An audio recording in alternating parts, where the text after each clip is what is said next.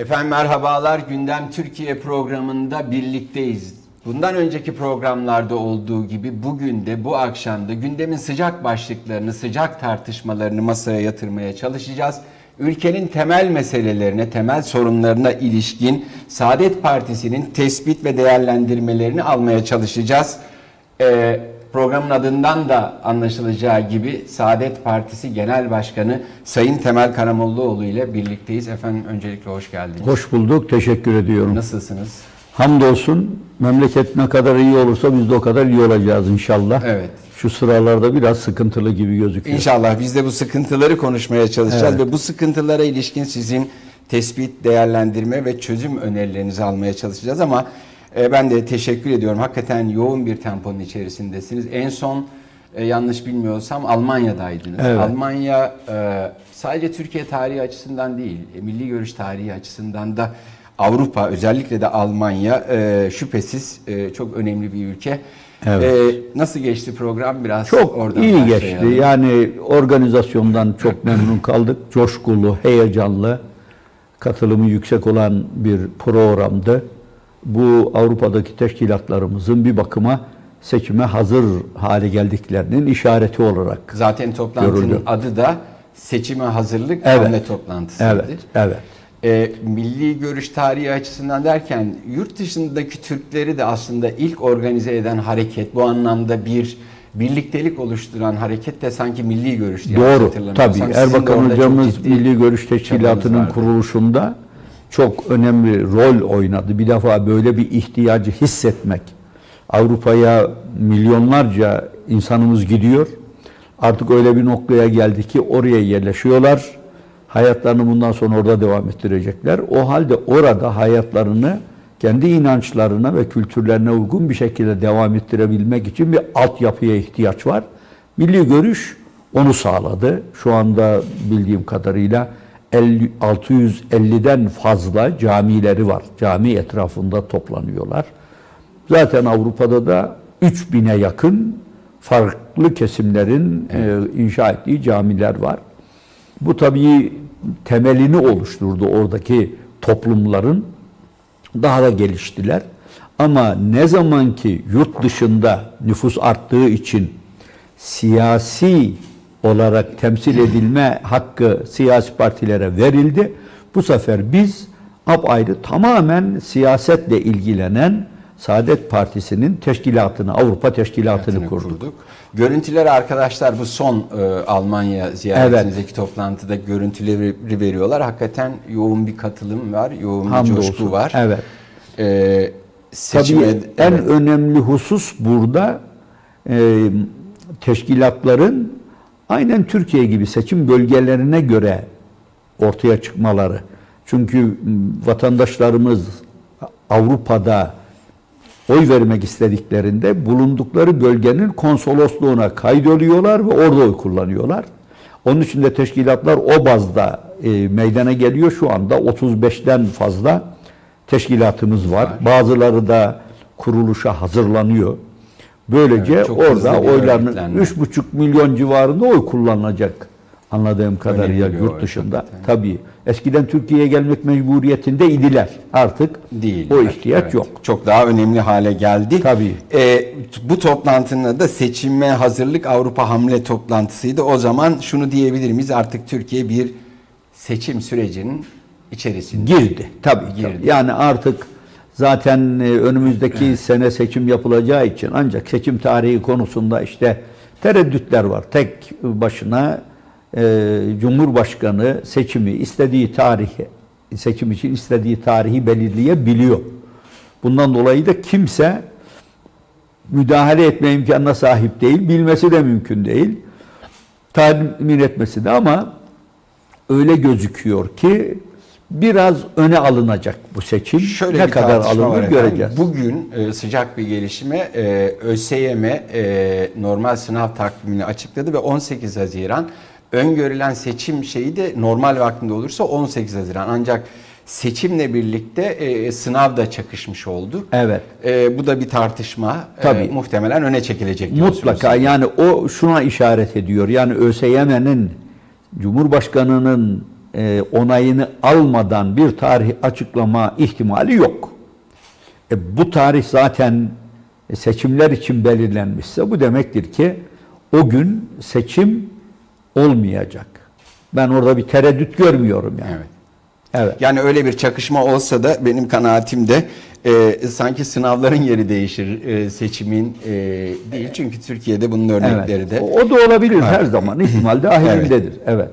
Şöyle bir tartışma da var efendim. Hızlı hızlı geçmek istiyorum ama yine bir böyle erken seçim, baskın seçim sanki muhalefeti hazırlıksız yakalama noktasında bir takım çabalardan bahsediyor. En son bu tartışmayı alevlendiren gelişme AK Parti Genel Merkezi'nden teşkilatlara, belediye başkanlarına özellikle aday olmak isteyenlerin 2023 seçimlerinde aday olmak isteyen belediye başkanlarının Aralık sonuna kadar istifa etmeleri İsteniyor. e, isteniyor, istenmiş. Bu da tartışmayı yeniden alevlendirdi. Sanki sürpriz bir seçim, erken bir seçim, siz böyle bir kaygıyı özellikle altını tekrar çiziyorum. Muhalefeti de hazırlıksız yakalama noktasında bir endişeniz, kaygınız, beklentiniz var mı böyle bir şey? Bir defa şunu hemen ifade edeyim. Artık aniden muhalefeti hazırlıksız yakalama diye bir durum söz konusu değil. Herkes seçime hazırlanıyor. Bundan dolayı sadece seçim tarihini belirlemek, seçim erken olursa mı AK Parti'nin lehine, geç olursa mı lehine bu kararı onlar verecek. Çünkü seçim tarihini Sayın Cumhurbaşkanı belirleyecek. Böyle olunca kendilerinin erken seçim yapma hangi tarihte yapılacak? Tabii mesela Şubat ayında seçim yapılacak olsa bayağı bir zorlama olur. Çünkü Şubat ayına kadar Ama Türkiye zorlamalara da alışkın değil Tabii. biraz olabilir. Yani se- o tarihe kadar adaylar belirlenecek. Seçim kurullarındaki insanlar, sandık başlarındaki sandık üyeleri, bütün bunların belirlenmesi lazım. Bu konuda zaten önceden AK Parti bir start vermiş durumda. Ama böyle bir durum iki ayağımızı bir pabuca sokabilir. Biz de hazırlıklıyız. Biz de bekliyoruz. Bizim şu andaki çalışmalarımız devam ediyor. Sandık başlarındaki Yani bu ihtimali göz ardı etmiyoruz etmiyorum ben. Evet. Onun için ama büyük ihtimalle işte burada verilecek karar da şu önemli. Eski seçim kanununa göre mi seçime gidilmeli yoksa yeni seçim kanununa göre mi? 26 Nisan bildiğim kadarıyla bu kanunun çıktığı tarih. O zaman 26 Nisan Önce milat. yapılamaz, evet. Tabii. Ondan önce yapılmasına karar verildiği takdirde eski kanun geçerli olacak. Eski birlikteliklerin önemi bugünküne nazaran daha, Daha fazla olmuş olacak. gelmiş olacak. Yani bence esas sorulması icap eden soru o soru. Yani eski seçim kanununa göre mi seçime gidelim yeni mi? Çünkü Milliyetçi Hareket Partisi'nde bir tereddüt var. Yani son zamanlarda oyları biraz yükselmiş gibi gösterilse de yüzde altı barajını geçememe ihtimali var. Böyle bir durumda meclise milletvekili sokamazlar. Bu ihtimali ortadan kaldırabilmek için eski usul bir Seçimi seçimi tercih etme ihtimalleri, ihtimalleri var. Var ama biz bu ihtimallerin hepsini değerlendiriyoruz. Her zaman seçime, Seçime hazır olmak, tabii. Hangi tarihte yaparlarsa yapsınlar. Efendim çok konu var. Ee, Türkiye hakikaten gündem açısından e, çok yoğun bir gündeme e, sahip. Dış politikadan, ekonomiye, Sisi'nin fotoğrafından e, işte normalleşme süreçlerine beraberinde Suriye ile ilgili bir takım sıcak mesajlar, yeşil ışıklar var. Altılı masa toplantısı var iki gün sonra. Bütün bunlara değineceğiz ama sormadan edemiyorum. E, Bugün Türkiye e, maalesef Konya'da ve Ankara Mamak'ta e, hayvanlara Konya'da özellikle de hayvan rehabilitasyon merkezinde insan hani söylemekten de imtina ediyor ama bir köpeğin başına kürekle vurularak öldürüldü. Görüntüler Türkiye'nin bir anda bir numaralı gündemi oldu. Ne diyorsunuz? Biz vicdanımızı mı kaybediyoruz? Toplum olarak çok mu öfkeliyiz? Nasıl okuyacağız bu şiddet eğilimini? Yani bunun tabii iki yönü var. Yani bir insanların ferden hayvanlara gösterdikleri ortaya koydukları tavır. Ha, bir insan bir köpeği, canlıyı başına kürek vurarak öldürebilir mi ya? İnsanlıktan yoksun demektir o. kendini koruma refleksi falan ortada yok. Bir hayvanı hunharca katlediyor. Buna kimse rıza gösteremez. Bunu hoş göremez veya göz ardı edemez. İkincisi ise tamam da bu başıboş köpekler nereden çıkıyor? Şimdi yavaş yavaş bazı tedbirler almaya başlıyorlar. İşte köpeklerde çips olacak. Onun siz kime ait olduğunu herkes bilebilecek. Bunun gözden kaçıran birçok insan olur. Ben bunu da anlamıyorum. İnsanlar köpek alıyorlar, kepa, kedi alıyorlar, evlerinde besliyorlar. Sonra canları sıkılıyor. Hadi sokağa bırakıyorlar. Bu da doğru. Bu da doğru değil. Hayvanseverlik bu, değil. Bu hayvanseverlik değil. Siz hayvanları sadece evinizde bir oyuncak gibi göremezsiniz. Şimdi devletin bu konuda mutlaka bir tavır ortaya sergilemesi icap eder. Bir çözüm Siz üretmesi, bütün sokak köpeklerini barınaklarda barındıralım, besleyelim. Nasıl yapacaksınız ki bunu yapmaya güç yetmez aslında. Onun için yeri geldiği zaman dünyada başka Örnekleri yollarla da var. Örnekleri var. Bu nasıl bununla müdahale edilebiliyor bu konuya? Onlardan da örnekler alarak meseleye yaklaşmak icap Biz genelde toplum olarak da efendim yani çözüm odaklı değil de böyle tartışma odaklı meseleleri e, karşılıklı öfke üzerinden Evet, evet. çalışıyoruz. Onda Ama bu manzara hakikaten kabul, edilebilir bir manzara değil. Bu kadar hunhar, bu kadar vahşi olunamaz. Yani bir insan böyle vahşet gösteremez. Evet. Bir hastalığı var demek ki bunu yapan arkadaşlar, insanların. Evet. Ee, efendim dediğim gibi biraz hızlı ilerlemek Evet. istiyorum. Gerçekten çok başlık var. Gündemin şüphesiz sıcak başlıklarından başlıklarından birisi de e, iki gün sonra 28 Kasım'da liderler bir kez daha bir araya gelecek. E, biraz tempo daha da hızlandı. Ayda birdi sanki şimdi 15 günde bir ve e, pazartesi günü tekrar bir araya geleceksiniz. E bir onu sorayım yani e, nasıl gidiyor altılı masa? E, bu sefer gündemde özel bir başlık var mı? Neler Ama şöyle söyleyelim. Şimdi bizim ele almamız icap eden konular belli. Bir defa bir aday belirlenecek. Doğru olanı benim kanaatime de göre bir adayın belirlenmesi yani partilerin kendi adaylarını gösterip de en çok oy alan en sonunda yarışa katılsın. Bu e, oy kaybına vesile olabilir gibi. Ancak herkes ya adayınızı bir an önce belirleyin adayınız yok. Çok açık net olarak ifade edildi. Herkes bu konuda da aynı kanaatte. Seçim tarihi belli olsun. Hemen bu arkadaşlar bir araya gelir. Parti başkanları, genel başkanları bir aday belirleriz. Yani bunda kimsenin tereddüdü olmasın. Anladığım bir kere ortak aday olacak. Olacak. Yani bu benim kanaatim Kanaatim. tabii şu anda. Bu yarın nasıl tecelli eder? Başka bir durum ortaya çıkar mı? O konuda bir şey söyleyemem. İkincisi biz anayasa değişikliği yapmakla mükellefiz. Çünkü bu ittifakların temel özelliği bugünkü seçim sistemini değiştirmek, seçim yönetim tarzını değiştirmek. Şimdi maalesef diktatörlüğe kapı açan bir sistem var. Tek kişi. Tek sorumlu. Tek yetkili o. Biz bunun mutlaka değiştirilmesi gerektiğine inanıyoruz. Bunun için bir anayasa değişiklik metni hazırlandı. Belki üzerinde bazı müzakereler yapılabilir. Seçim yapılıp Allah nasip ederse Cumhurbaşkanlığını kazanırsak hemen gerekli değişiklikleri yapmak üzere hareket edilecek. Mecliste intibak bir uyum içinde yapılacak bu. Çünkü konuyu hem Cumhurbaşkanı meclise sunacak hem de mecliste bu konular ister istemez müzakere edilip yürürlüğe girmesi için gerekli formaliteler Formaliteler. tamamlanacak. İkincisi bu. Cumhurbaşkanlığı sistemine geçiş için Bu anayasa pazartesi değişikliği. de açıklanacak Evet yani değil mi bu efendim? konudaki bu konu tabii ufak atıflar var birçok maddelere anayasanın. Ondan dolayı bunun açıklanmasına ihtiyaç var bir an önce. Üçüncü konu ise bir yol haritası. Evet. Yol haritası neden gerekli? Biz şimdi bir koalisyonu erkenden kurmuyoruz.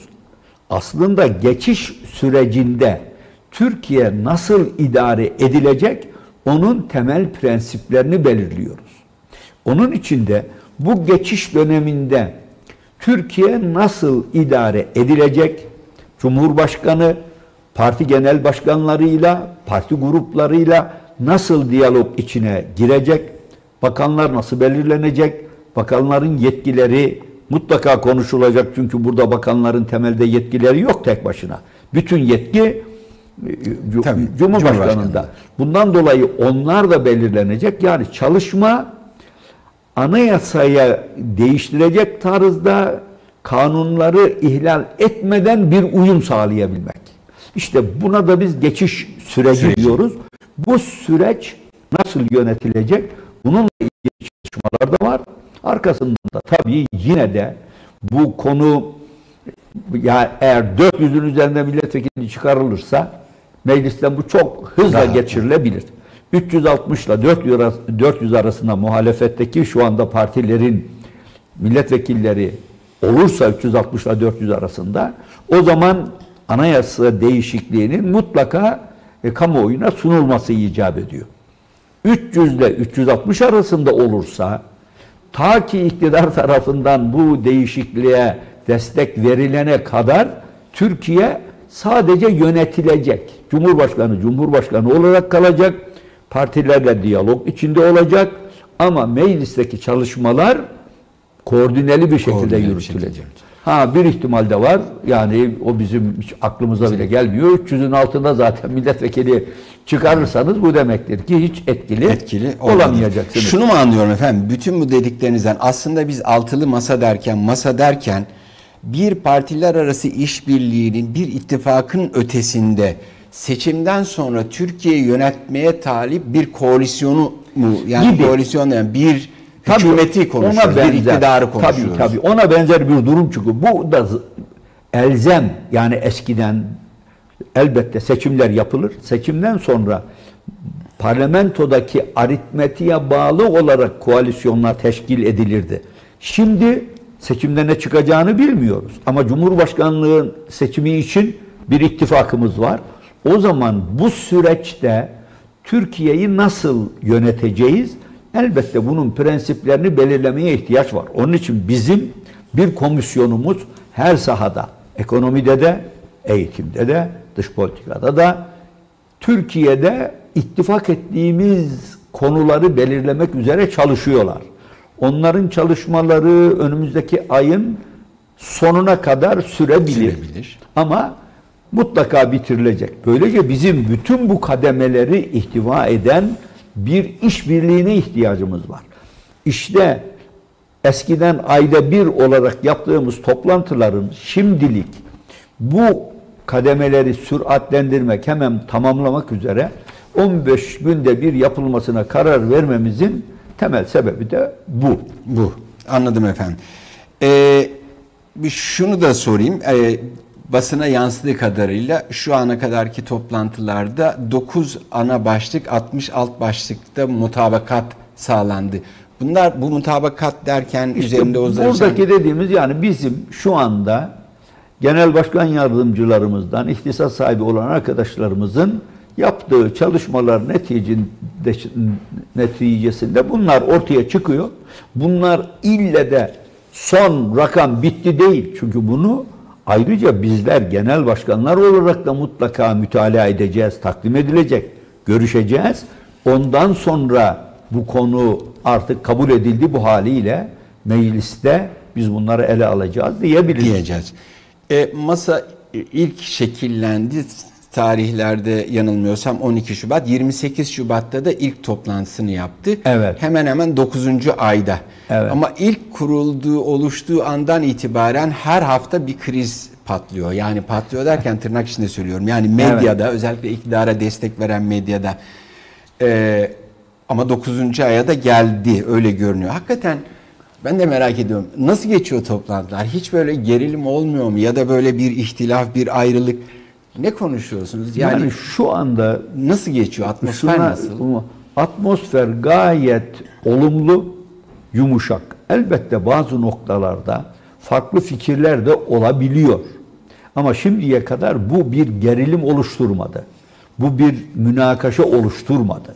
Bundan sonra da ben bir münakaşa, bir gerilim oluşacağını hiç tahmin etmiyorum, zannetmiyorum. Buna adaylık meselesi de dahil mi? Yani çünkü en kritik başlıklardan Tabii. birisi kısmen ifade ettiğiniz adaylık meselesi, En ortak kritik. adaylık meselesi. Tabii. Burada bir ihtilaf, kriz olmaz diye ümit ediyorum. Evet. Ama kesin olarak bir şey söylenmez. Söylemek Çünkü hani dananın kuyruğunu koptuğu yer derler. evet. evet bizim burada Cumhurbaşkanı adayını belirlememiz en önemli adım olacak. Adım olacak. İlk adım olacak. Önemli adım. Daha doğrusu ilk dediğim yani bu seçimler için, İçin en en önemli, önemli, adım en olacak. Ondan sonra diğer konular ileride mecliste de tekrar gündeme getirilebilir. Konuşulabilir, tartışılabilir, farklılıklar ortaya çıkabilir. Çünkü onlar nihayet politikalar. Çeşitli sektörde biz e, finans meselesini nasıl çözeceğiz? Yatırımlarda nasıl bir tavır sergileyeceğiz? Teknolojiyi ne yapacağız? Eğitimde işte 3-4 tane belli problem var. Bunları nasıl çözeceğiz? Buralarda farklılıklar olabilir ama bunlar bir gerilime değil, orta yolu bulmak için bir araştırmaya tekabül eder kanaatindeyim ben. Evet. Bununla ilgili bu masayla ilgili birkaç sorum daha var efendim Tabii. hızlı hızlı. Bugün Ocak e, is- e, ayı gündeme getirildi. Hem parti sözcünüz bir olaydın hem de İyi Parti kanadından yapılan açıklamalarda Ocak'tan sonra aday belli olur diye.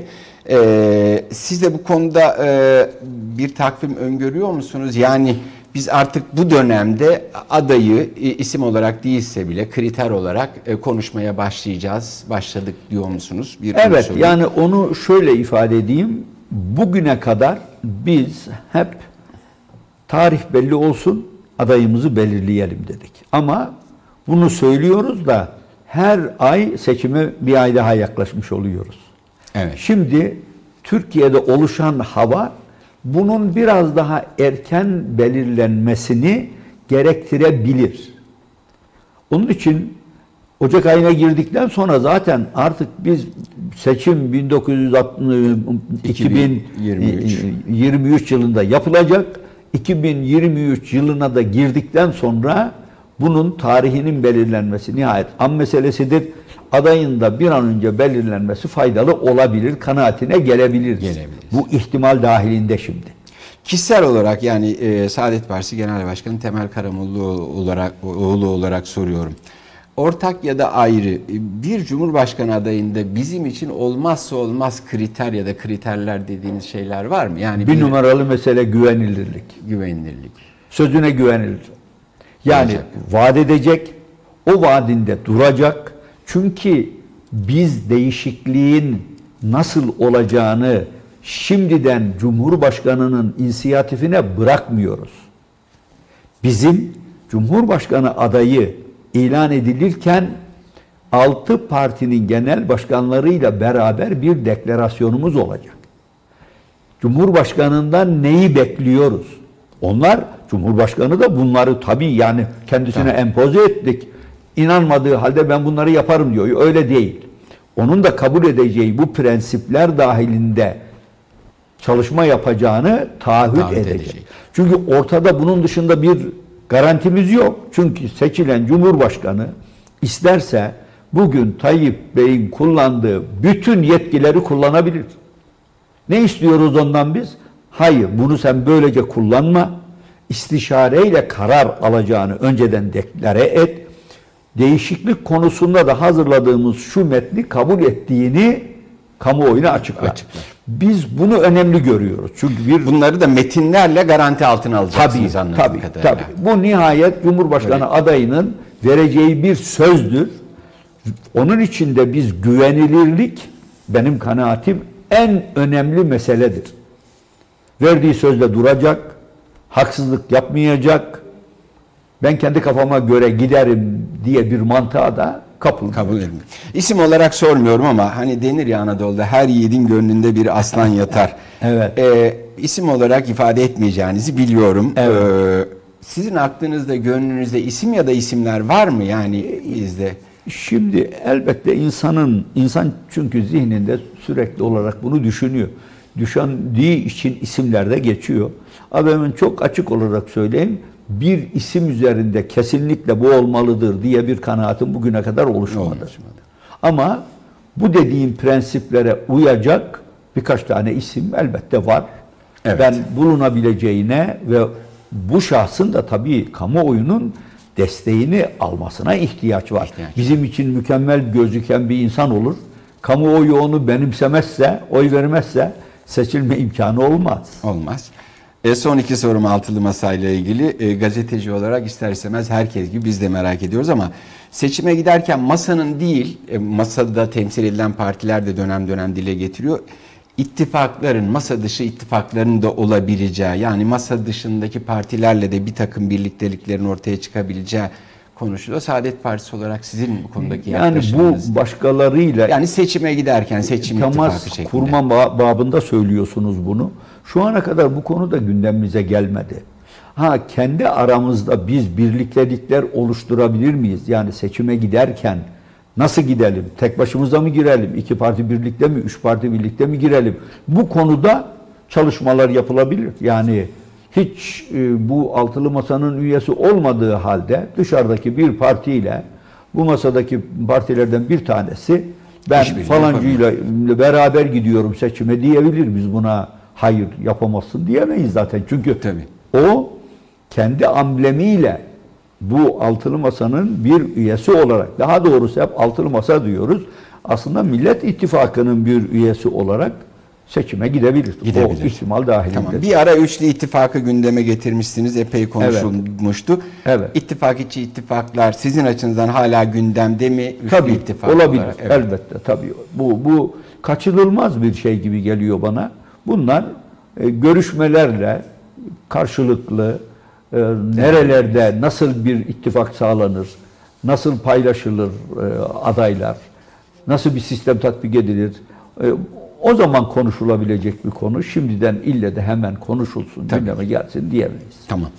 Ee, sizin e, benim altılı masa ile ilgili hazırladığım sorular, aldığım notlar bitti. İlave etmek istediğiniz bir şey yoksa dış politika Evet. diğer bir sıcak Yani başlık. Ona orada ben şunu istiyorum. söyleyeyim. Burada bir uyum var. Bu uyum yakalandı. Şimdiye kadar birbirimizi rencide edebilecek veya birbirimizi e, kızdıracak bir tartışma gündeme hiçbir zaman gelmedi. Ve bundan dolayı da ben aday belirleme, belirlemede de uyum içinde bu işin yapılabileceğine inanıyorum. Ve buna Herhangi- ihtiyaç olduğu için biz buradayız. Ona if- ifade edeyim. Evet. Yani iki konuyu bazen Karış- karıştırıyorlar. Bir, Cumhurbaşkanı seçiminde bu sistemin değişmesine inanan partiler üzerinde güvenilirlik oluşturan, kanaat oluşturan güvenilir bir bir kişi olacak. Ama siyasi partiler seçime ayrı ayrı girecekler. Vatandaşların ayrı ayrı oy isteyecekler.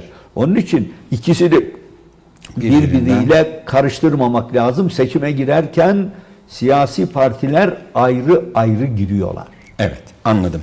Efendim dış politika, e, sıcak başlıklar var orada da Evet. hakikaten. Bu hafta özellikle bir fotoğraf dış politikanın e, ana tartışmasını oluşturdu. E, arkadaşlarımız da ekrana getireceklerdir. E, Sayın Cumhurbaşkanı'nın Mısır Cumhurbaşkanı e, Sisi ile olan fotoğrafı ekrana da getirdiler, getiriyorlar. E, bu fotoğraf üzerine çok yorum yapıldı. Sizin hissiyatınız ne oldu? Ne gördünüz bu fotoğrafı e, önünüze düştüğünde, gördüğünüzde ne hissettiniz? Sayın Nasıl Cumhurbaşkanı bu değerlendiriyorsunuz? gibi konuları siyasette hu- husumet olmaz dış ülkelerle olan. Onun için biz bazen kızarız, bazen bir araya geliriz. Yok, o kadar da değil. Doğrudur. Siyasette başka ülkelerle kin güder gibi bir tavrın içine girilmemeli. Az ama ama o zaman sarf edilen sözlere bir bakın. Yenilir, yutulur mu o sözler? Nasıl bu sözlerin üzerinden hiçbir şey olmamış gibi siz bir yeni tavır belirleyebilirsiniz? Bu mantıklı değil. İnsanlar incinir, insanlar bunlardan dolayı çok farklı kanaatlere gelebilirler. Ben onun için bunu garipsiyorum. Ya bu kadar husumetten sonra böyle candan bir Evet. e, kucaklaşmayı garipsiyorum. Bu aslında çok farklı üzerinde konuşulması icap eden bir konu. Çünkü Tayyip Bey Türkiye olarak köşeye sıkıştığını gördü.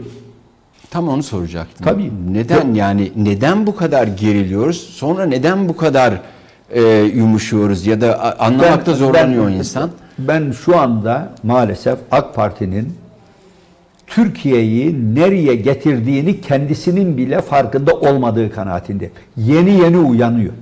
Bir ara bir şey oldu. Hatırlarsanız ilk başta daha Cumhurbaşkanı değil parti üyesi bile değilken çünkü e, aday olamıyor. Siyasi yasaklı. Başbakan adayı falan değil. Değil. Tayyip Bey Amerika'dan döndü, geldi. Ben Büyük Orta Doğu Projesi'nin eş başkanıyım dedi. Peki Büyük Orta Doğu Projesi ney? Bunu biliyor muydu? Kesin olarak şu kanaatim var benim. Büyük Orta Doğu Projesi'nin ne olduğunu bilmiyordum. Çünkü Büyük Orta Doğu Projesi'nin, hede, projesinin hedefindeki en önemli ülke Türkiye. Türkiye yok ediliyor, bölünüyor, parçalanıyor. Bir cumhurbaşkanı kendi ülkesinin parçalanmasına nasıl rıza gösterebilir? Bunun farkında değildi. Sonradan farkına vardı. O zaman ne dedi? Nereden çıkardınız ya? Demek ki bir dönem yaşamış, bunları söylediklerini unutmuş. Ben Büyük Orta Doğu Projesi'nin eş başkanıyım diye bir ifade kullanmadım dedi. Bu sefer işte teknoloji de böyle bir şey. Eski söylediklerini bugünküyle yan yana getirdiler. Ondan sonra Büyük Orta Doğu Projesi'ni falan bir daha ağzına almadı. Benim kesin kanaatim bunun farkında değil. Şimdi farkına vardıysa eğer ya buna razı rıza gösterdi veya bunun üstesinden ben nasıl gelirim diye yeni bir taktik hazırlığı içinde. Bir ihtimal diye söylüyorum. Ama Amerika Birleşik Devletleri Büyük Orta Doğu Projesi'nin icra organıdır. Kendisi bunu bir politika olarak belirlemiştir. 1990'larda Condoleezza Rice bunu ortaya attı ki bunun daha evveliyatı var. Evet. Arkasından bu Condoleezza Rice Dışişleri Bakanı oldu Amerika Birleşik Devletleri'nde ve bu proje Amerika tarafından kabul edildi. Bu projede şu anda isim olarak Amerika'da kim bunu destekliyor? Evangelikler. Kim bu evangelikler? Bir Hristiyan mezhebi, bir Hristiyan anlayışı. Bunlar Hazreti İsa'nın geleceğine ve İsrail'in dünyada hakimiyet kuracağına inanıyorlar. Yahudilere böyle bir değer veriyorlar. Bundan dolayı da Türkiye'nin de bu kapsamda etki altına gireceğini kabul etmişler. Türkiye bölünüyor diyorum ya harita çizilmiş. Bizim bu yabımızda. Ama bir yandan da İsrail'le de normalleşiyoruz. Ha, yani şöyle gerçeği gördüm. Tabii çünkü bu projenin ben Amerika icracısı ama bu, bu projenin sahibi İsrail. Onun için Büyük Orta Doğu Projesi BOP aslında BIP'tir. Büyük İsrail Projesidir. Çünkü Yahudiler buna inanıyorlar. Nil ve Fırat arası Cenab-ı Hakk'ın onlara vaat edildiği topraklar olduğunu kabulleniyorlar. Burada hiç tereddütleri yok. Onlar kendilerinin üstün insan, diğer bütün insanlık onlara hizmet etmek üzere yaratılmış olduğunu kabulleniyorlar. Amerikalılar da bunu biliyor. Maalesef bunu da kabulleniyor. Fecaat burada. Yani taş çatlasın ileride toplamını alsanız 30 milyonluk bir Yahudi cemaati bütün dünyaya ben hakim olacağım. Bu dünyayı ben yöneteceğim diyor. Özellikleri ne şu anda? En büyük özellikleri dünyada, Amerika'da da, İngiltere'de de, Avrupa'da da, belki diğer ülkelerde de finans kaynağına bunlar hakimler. Finans kaynaklarına hakim olarak bütün dünyayı biz yönlendiriyoruz, yönlendiriyoruz diyorlar. Erbakan Hoca Allah rahmet eylesin. Doların üzerindeki o piramitlerin nasıl tarif ettiğini biz biliyor. O geçerliydi. O zaman Büyük Orta Doğu Projesi diye bir proje böyle isimlendirilerek ortaya atılmamıştı henüz. Ama onu biliyordu. Bildiği için de bunları söylüyordu. Şimdi biz dünya bir felakete doğru sürükleniyor. Bu çatışma ortamı Orta Doğu'da meydana gelecek. Onun için dikkat edin. Amerika Birleşik Devletleri dünyanın diğer bütün bölgelerindeki güçlerini burada toplamaya başladı. Irak'ı yok etti Saddam'ı. Karşısına çıkacaktı. Suriye'yi yok etmek için bir çaba içine girdi. Ruslar geldiği için istediğine henüz ulaşamadı. Ama emellerine hizmet etmek üzere maalesef PYD'yi ve YPG'yi şu anda son noktaya kadar kullanıyor. Ya bundan 30 yıl önce efendim bir tane üssü yokken şu anda sayamadığımız Tabii yani Irak'ta yani. var, Suriye'de evet. var, Suudi Arabistan'da var, Katar'da var, Emirlikler'de var, Mısır'da var, Libya'da var. Şu anda Güney Kıbrıs'ta yani, var. Girit'te en büyük evet. üssünü kurdu. Yunanistan'da var, Bulgaristan'da var, Romanya'da var. Her de artık bizim bizdeki incirliğin önemi bile kalmadı. En az iki üç tane deni şeyi uçak gemisi Akdeniz'de dolaşıyor. Bütün denizaltılar bu bölgeye geldi. Türkiye gık demedi. Nasıl oldu da Tayyip Bey Ege adalarına 17-18 adaya hakları olmadığı halde yerleşen Yunanlılara karşı şimdi tavır koyuyor. Yahu Tansu Çiller bile Kardak kayalarına gitti çıktı. Ben buraya kimsenin gelmesine izin vermem dedi. Bu bir tarihi vaka. Peki de Tayyip Bey niye bunlar bu adalara yerleşirken sesini çıkarmadı da şimdi biz buna rıza göstermeyiz. Sen istediğin kadar gönderme. Harbe girmezsen onları oradan çıkaramazsın. Yani sonuçta efendim bu istikrarsız dediğiniz anladığım yani şöyle e, yine fotoğrafın üzerinden gidecek olursak bir faturası da oluyor. Yani Mısır'la Mısır'la yaşadığımız gerilim, problem Tabii. işte Doğu Akdeniz'de, Libya'da karşımıza çıktı. Tabii. Suriye ile yaşadığımız problem hala ortada konuşmaya gerek yok. 10 milyonluk mülteciyle Tabii. karşı karşıya Türkiye. Yani bu kadar sonuçları itibariyle işte ihvan boyutu var. Yani Evet. e, birçok mağduriyet yaşandı. E, bir tokalaşmayla hakikaten sizin de dediğiniz gibi bu kadar kolay bu faturalar keşke kalkabilse ama mümkün mü? Gerçekçi buluyor musunuz? Şimdi- bir de parantez siz Mursi ile görüşmüş müydünüz? Evet Nasıl? biz mu- şöyle Çünkü Mursi- çok iç politikada da bu Tabii malzeme yapıldı o Mursi zaman. Türkiye'ye geldiği zaman biz kendisini otelinde ziyaret ettik. O zaman genel başkanımız Mustafa Bey'di. Beraber gittik. Bizi Mısır'a davet etti. Ama görüşme imkanımız olmadı biz Mısır'a Mısır'dan. gittiğimiz zaman. Zaten biz Mısır'dan ayrıldıktan birkaç gün sonra da ihtilal gerçekleşti. Mursi uzaklaştırıldı. Orada Hatta Mısır- ben de vardım doğru şimdi hatırlıyorum. Orada olaylar oldu. Görüşme son anda ertelenmek zorunda kaldı. Kaldı. Yani Türkiye Mısır'a, Mursi'ye o dönem destek verebilirdi politikalarının oluşmasında. Çünkü Mısır demokratik bir ortama hazır değil. Hep ihtilallerle gelmiş bugüne kadar. Ve maalesef birçok masum insanın kanına girmişler. Böyle şey mi olur? Hala idamlarla geçiriyorlar. Ne olmuş? Adam itiraz etmiş. E itiraz etti diye bir adamı idam eder misin ya? Böyle mantıksızlık olur mu? Böyle bir zalim idare var şimdi Mısır'da. Mısır'da demokrasi yok ki. Şimdi öyle ki zaten Afrika'nın demokratik ülkelerinin hepsinde devlet başkanları yüzde doksanla seçiliyor. Şimdi bunu biraz daha yumuşak isteyenler yüzde 65-70 civarında duruyorlar. Böyle bir demokrasi, Demokrasi olur, mu? mu? Çok hızlı akıyor da efendim süre. E, tabii Evet. e, Türkiye'de tartışılan bu dış politika ile ilgili iki soru daha sorarak toparlamak istiyorum. Çok fazla iç politika malzemesi yapılıyor. Bu fotoğrafla birlikte tartışılan e, şeylerden biri. Mesela en son İstanbul seçimlerinden önce yarın sandıkta Sisi mi diyeceğiz, Binali Yıldırım mı? O noktaya kadar geldi. Ama dış politikadaki itiba, e, sonuçları itibariyle bize çok ağır faturalar oldu. Az önce söylediğim gibi Suriye meselesindeki gibi. Şimdi Milli Görüşüm ve Saadet Partisi'nin sürekli vurguladığı, sizin de sık sık vurguladığınız bir şahsiyetli dış politika perspektif var. Bu pencereden değerlendirdiğinizde bugün AK Parti'nin parti işareti bile Mısır kökenli Rabia işareti ama şimdi heykeller kaldırılıyor. Öyle bir tartışma var. Bu sembol ne olacak, işaret ne olacak? Ne oluyor yani bu hakikaten çok büyük bir savrulma mı? Yoksa Çok bir- inandığı gibi hayır bu bir dünya lideri stratejisi mi? Hayır. Yani, burada bu- şu ortaya nasıl çıkıyor. anlayacağız? Burada şu ortaya çıkıyor. Tayyip Bey'in tutarlı bir dış politika anlayışı yok. Olmadı bugüne kadar. Hem Suriye ile siz bir araya geleceksiniz. Müşterek Bakanlar Kurulu toplantıları yapacaksınız. Tatile müşterek çıkacaksınız. Sonra birdenbire her şey değişecek. Harp ilan edeceksiniz. Bunda bir istikrar olmaz. Böyle bir istikrar olmaz. Sisi'ye en büyük hakaretleri yapacaksınız. Sonra da kucaklaşacaksınız. Suudi Arabistan'la aramızdaki ihtilaf zirveye çıktı.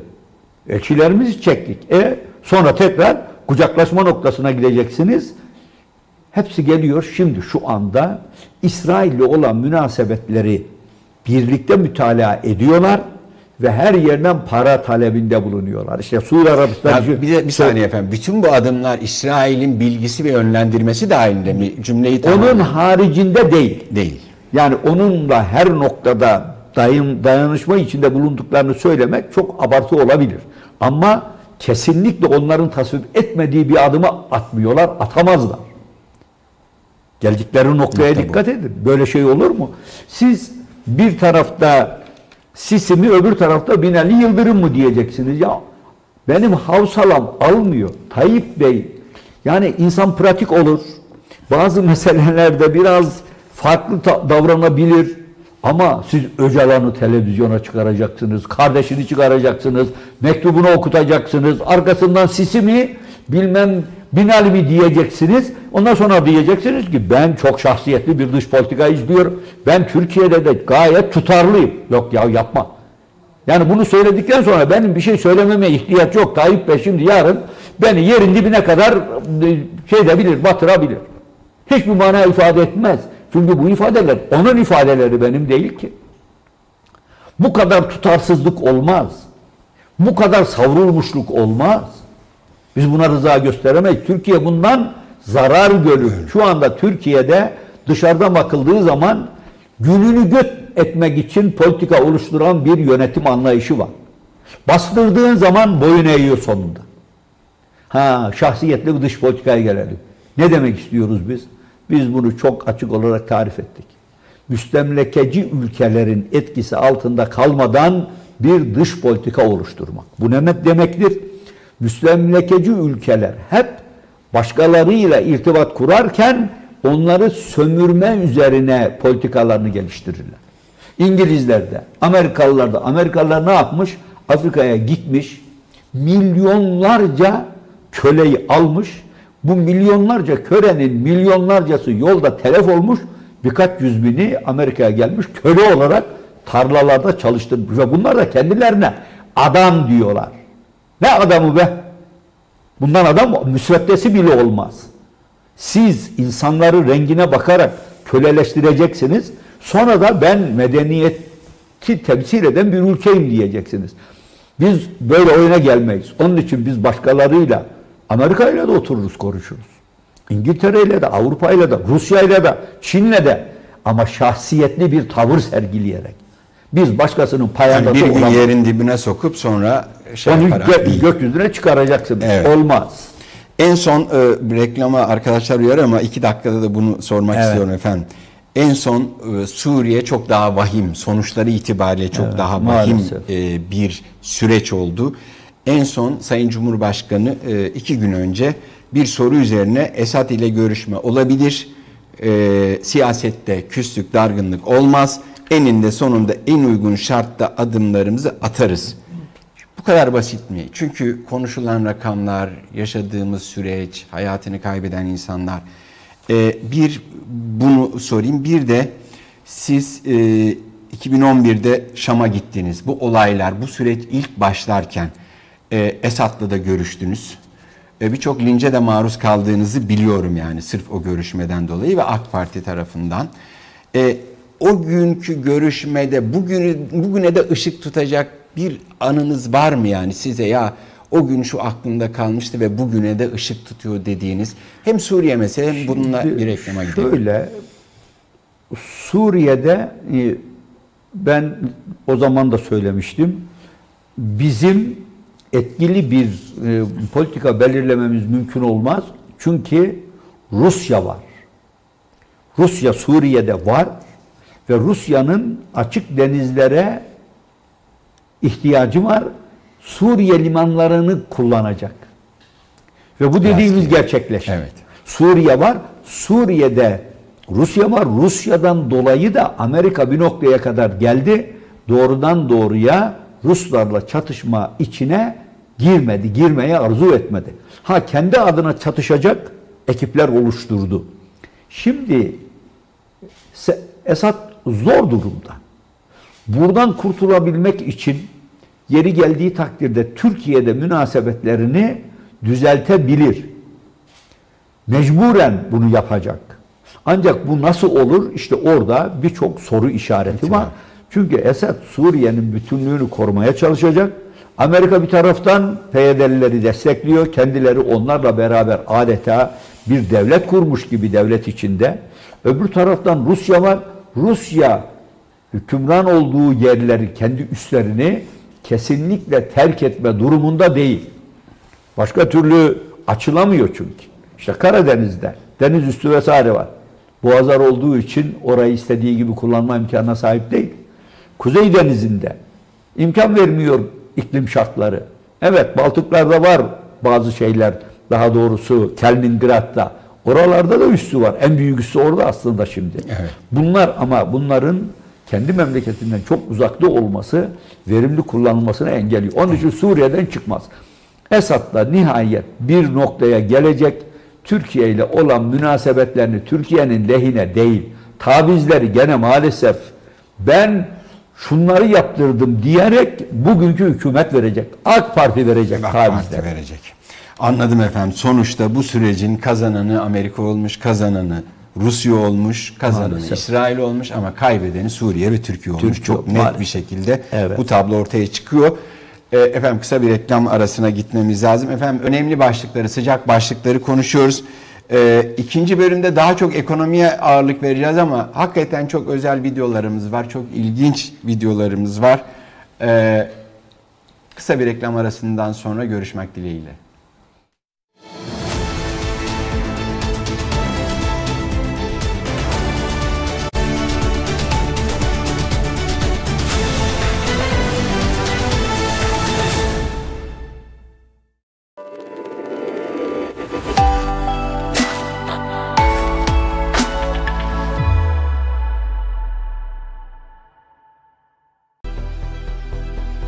Afrika'da yaşayan 300 milyondan fazla insan sağlıklı suya erişemiyor.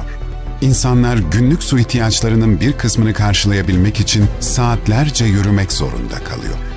Sukuyusu.com.tr ile bölgede su kuyuları açarak bölge halkına temiz su imkanı sağlamaktayız.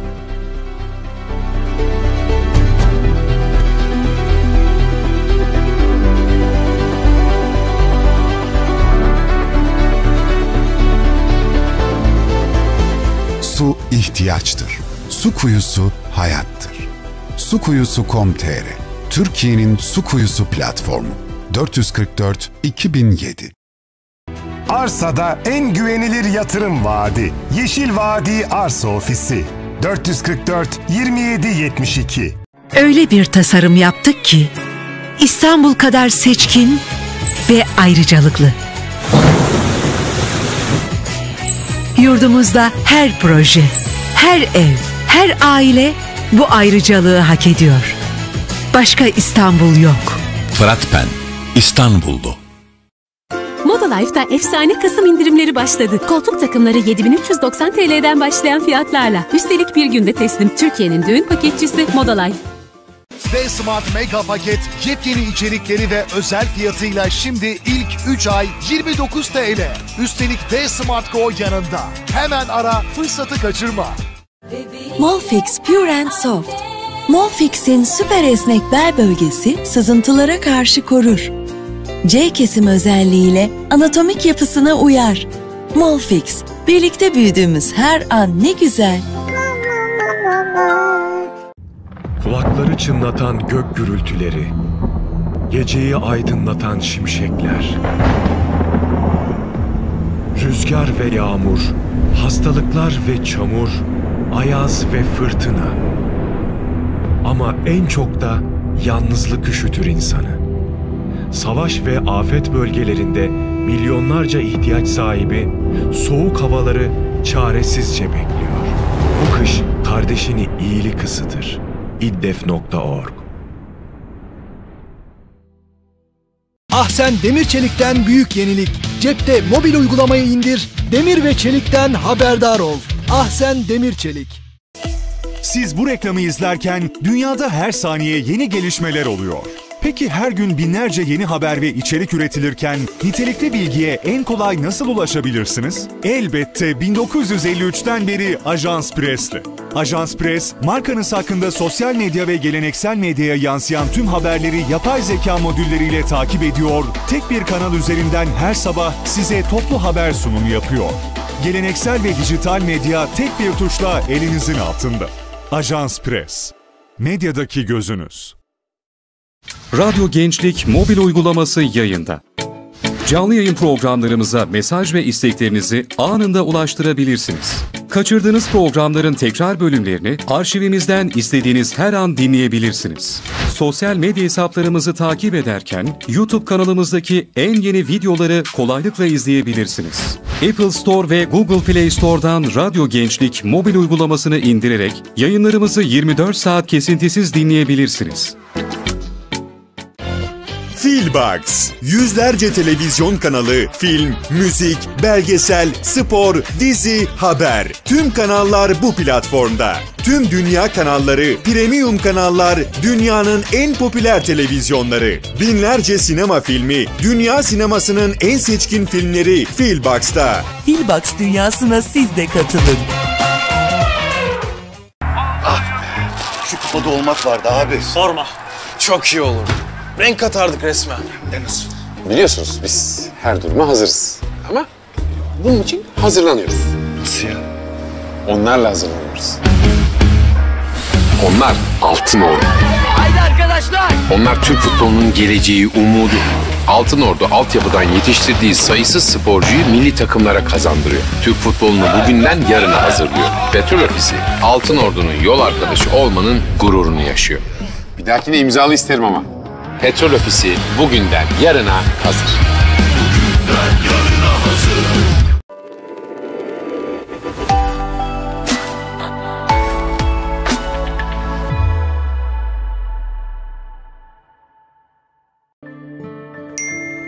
Destansı indirim günleri başlamış. Sepete attığım ayakkabı da indirime girmiştir herhalde. Aa, bunun fiyatı artmış. Bir yanlışlık var galiba. Her ürün ucuz.com ben Erkan nasıl yardımcı olabilirim? Sitenizde indirim var demişsiniz. Ama ben ayakkabıyı sepete attığımda 299 liraydı. Şimdi 499 liraya çıkarmış. Sonra da 399 liraya düşürmüşsünüz. Çok özür diliyorum. Hemen şimdi düzeltiyorum. Şu an düzelmiş olması lazım. Bu sefer de fiyat 599 liraya çıktı. Şimdi tekrar kontrol edin. E yine 399 lira oldu. Ama hanımefendi bu sefer 599'dan 399'a düştü. Ya öyle düşünün yani. Bence harika fırsat. Ben olsam alırdım. Ama bu yanıltıcı. Önce fiyatı arttırıp sonra indirim yapıyorsunuz. Şimdi sizi Ticaret Bakanlığı'na şikayet edeceğim. İndirim miktarı ve oranının gösterilmesinde tüketici yanıltılmamalıdır. Bu gibi durumlarda şikayetleriniz için Ticaret Bakanlığı Reklam Kurulu'na başvurabilirsiniz. Cezada indirim olur mu acaba ya? Türkiye Cumhuriyeti Ticaret Bakanlığı, Tüketicinin Korunması ve Piyasa Gözetimi Genel Müdürlüğü. Oyun oynamıyoruz. Bu bizim yavrumuz. Bu bir kişi değil. 2 milyon insan. Bunların parasını alacaksın, götürüp dışarıya vereceksin. Neymiş o sandalyede oturacak mısın? Böyle insafsızlık mı olur? Şu halinize bakın. İşte rakamlar ortada. 5 milyon insan işsiz, 15 milyon insan aç, 40 milyon insan fakir, bir avuç insan. Siz sadece dolar milyarderlerini bilmem 4'ten 26'ya çıkarttınız. O dolar milyarderlerinin 20 tanesinin parası 50 milyon insanın bütün kazancından daha fazla. Bu nasıl adalet ya? Bu nasıl düzen? TV5 neydi biliyor musunuz? Bütün bu hizmet edenler karşısında tıpkı Hazreti Hamza Radyan Efendimiz gibi tek başına bütün bir orduyu geriye püskürten şekilde cihad eden ülkenin en kıymetli varlığıdır. Bu sözümü unutmayın.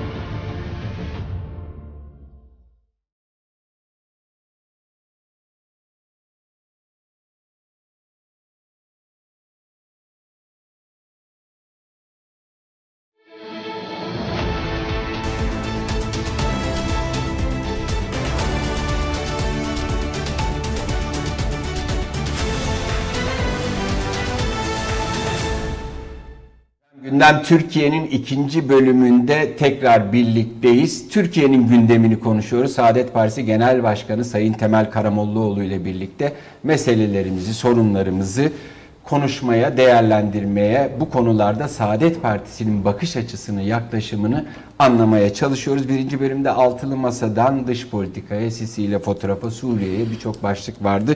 Hızlı hızlı dilimiz döndüğünce, vaktimiz yettiğince değinmeye çalıştık. Ama şüphesiz Türkiye'nin bir numaralı gündemi, en önemli gündemlerinden birisi ekonomi. Sıcaklığı hiç düşmeyen bir başlık, en önemli gündem maddelerinden birisi. O yüzden bu bölümde biraz ekonomiye ağırlık vereceğiz. efendim e, siz ne diyorsunuz? Ekonomi özellikle de seçime doğru giderken e, en önemli sorunu Türkiye'nin. E, genel bir değerlendirmeyle başlayalım. Sonra bütçe, faiz, naz Evet. hepsine girmeye çalışacağız. Birinci bölümde olduğu Şimdi gibi. şunu hemen ifade edeyim. Yani bir ülkede, e, ülke yönetiminde iktidarların başarılı olup olmadıklarının temel kıstası ekonomidir. Yani normalde hiçbir ülkede ya adalette bir problem var mı diye kimse sormaz. Çünkü adalet zaten adil olmak mecburiyetinde hakimler. Ha bizde problem oluyor. Neden? Çünkü hükümet müdahale ediyor. Onun için ekonomik performans iktidarların en önemli kıstasıdır. Ekonomi dediğimiz zaman da ekonomide şu hususlar önemlidir. Bir, herkes bir iş bulabilmeli. İşi olanlar da geçinebilecekleri kadar ücret almalılar. Yani en basit refah düzeyi için söylüyorum. Ekonomide buna mutlaka ister çiftçilik yapın, ister bir yerde işçi olarak çalışın, isterse memur olun. Mutlaka geçiminizi rahatlıkla sağlayabilmeniz icap eder.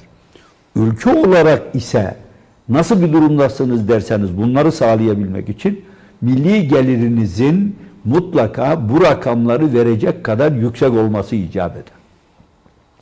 Her konuyu dikkate alarak ekonomide, sanayide, tarımda, gıdada ne alırsanız alın sizin milli gelirinizin mutlaka bu gelir seviyesini sağlayacak kadar yüksek olması lazım.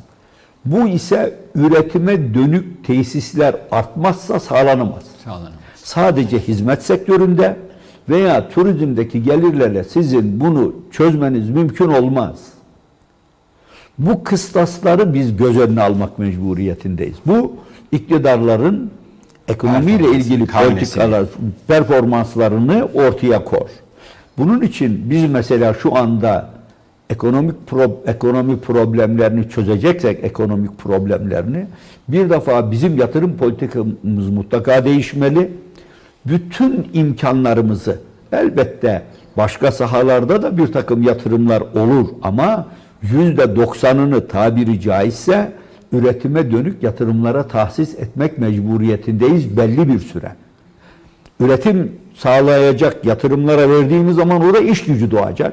Böylece insanımız geçimini oradan aldığı Şu anda yanlış mı kullanılıyor diyorsunuz efendim Elbette. bu imkanlar? Yani Üretime dönük yatırım yok ki Türkiye'de neredeyse. İşte dev, e, Sayın Sanayi Bakanı'nın en son açıklamalarından biri devletin fabrika yapma dönemi geçti. Devlet fabrika yapmaz dedi. Devlet yapmaz. Onu özel sektöre yaptır o zaman. Siz öyle bir politika izliyorsanız, izliyorsunuz ki özel sektör yatırım yapmıyor. Eğer öbürüne inanmıyorsanız o zaman özel sektörü yatırım yapar hale getirin. Adam Türkiye'de yatırım yapmıyor, gidiyor dışarıda yapıyor. Niye? Çünkü Türkiye'deki ortama güvenmiyor. Güveni kim sağlayacak? İktidar. Bu sizin sorumluluğunuz. Sanki biz sadece devletin bu yatırımlara el atması gerektiğini söylüyormuşuz zannediyorlar. Biz şunu söyleriz. Eğer bir konu Türkiye için elzemse, özel sektör o konuda gerekli adımları atmamışsa elbette devlet de o konuda adım atar. Ha sonradan onu daha verimli çalışabilmesi için özel sektöre açar, özel sektöre devredebilir. Ama o tesis Türkiye'de olmadan olmaz. Onun için burada işi basite getirip efendim biz devlet olarak artık dünyanın hiçbir yerinde kapitalist ülkelerde de yok. Onun için biz buna itibar etmiyoruz. Ama bunu diyen e, iktidar marketçilik yapıyor işte market. Ha, ya, evet. bu da ayrı bir garabet. Yani Siz güzel söylediniz. bir şey yani. Tabii. Ee, fabrika Siz yapmaz ama market fabrika yapmaz ama market yapar diyor. Bu ne mantık ya? Çarpıklık burada işte. Bu arkadaşlarımız bunu fark etmeyecek kadar cahiller. Kusura bakmasınlar. Bu bir cehalet eseridir ya. Sen devlet ticarete girmesin, sanayiye girmesin ama yeri yeri geldiği zaman marketçilik yapsın. Böyle bir mantık, Mantık olmaz. kabul edilemez. Efendim sıcak başlıklardan biri, ekonominin sıcak başlıklarından biri bütçe görüşmeleri devam ediyor. Hakikaten ben de hani e, yıllardır gazetecilik yapıyorum. Uzun sürede de parlamentoda da görev yaptım. Hiç bu kadar gergin bütçe görüşmeleri görmedim. Çok ağır şeyler. E, siz hemen bir soru sorayım. Bir tane video e, getirmek istiyorum e, ekranda. Ondan önce siz plan bütçede çünkü Ben komisyon parlamenter- üyesi olmadım. Ben plan bütçede parlamentodaki genelde dış münasebetlerde görev aldım. Ama aynı zamanda e, ilk meclise girdiğimde e, KİT komisyonu üyesiydim. KİT komisyonunda da uçak sanayi alt komisyonunun başkanlığını yaptım. TUSAŞ'ın. Evet. O zaman ben farklı şekillerde anlatmıştım. Yani bunun ihmal edilmemesi gerektiğini, neden bugüne kadar gerekli yatırımların tahsis edilmediğini, uçak sanayi. uçak sanayiyle ilgili sorduk. Sonunda da ben mecliste bir toplantı yaptım ve bu toplantı aslında bu normal bir toplantı değildi. Çünkü ben genç olduğumdan dolayı böyle bir girişimde bulundum. Kimse de bana itiraz etmedi. Genel kurmaya yazı yazdım, eleman istedim. Milli Savunma Bakanlığı'na yazdım. Dış, Dışişleri Bakanlığı'na yazdım. Maliye Bakanlığı'na yazdım. Her yere yazı yazdım. Bununla ilgilenebilecek olan onların görüşlerini alayım dedim. Maalesef gelenler kendi bakanlıklarının görüşlerini ilettiler ve dediler ki e, biz şu anda böyle bir sanayinin kurulmasına ihtiyaç olmadığı kanaatindeyiz. Ama ben söylemiştim size de belki iki tane paşamız e, toplantıdan çıkarırken sizinle bir iki dakika görüşmek istiyoruz dediler. Yemek vereyim demiştim. Geride kalınca biz dediler biraz önce size bakanlığımızın bize verdiği talimatı ilettik. Ama bizim kanaatimiz sizin gibi. Biz bu tesisleri kurmalıyız. Kurmak zorundayız. Arkasından Erbakan Hoca konuştuğumda, görüştüğümde bunları kendisine aktarınca o zamanki devrenle konuş dedi. Genelkurmay Başkanı. Görüştünüz mü? Gittim görüştüm. Ya tabii. Hem de biraz hayret ettiydi ya amma da gençmişsin diye. O zaman demek ki daha genciz. En genç milletvekillerine yani Evet. 77'ler Yet- 70 Tabii doğru Öyle. 77'den sonra.